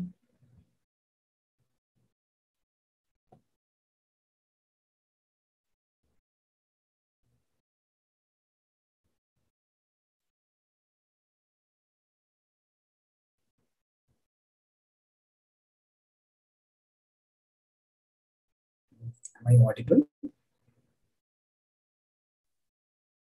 Yeah, I can hear you, but I don't know if uh, whoever is supposed to be in charge uh, had to maybe leave for a second. So yeah, I guess if Onur is not concluding, maybe I can do it. So thank you, Rahul, for the very nice presentation. Uh, it was a really nice paper. I hope everybody enjoyed your presentation and, and the very nice discussion. So, yeah, thank very you very much. much.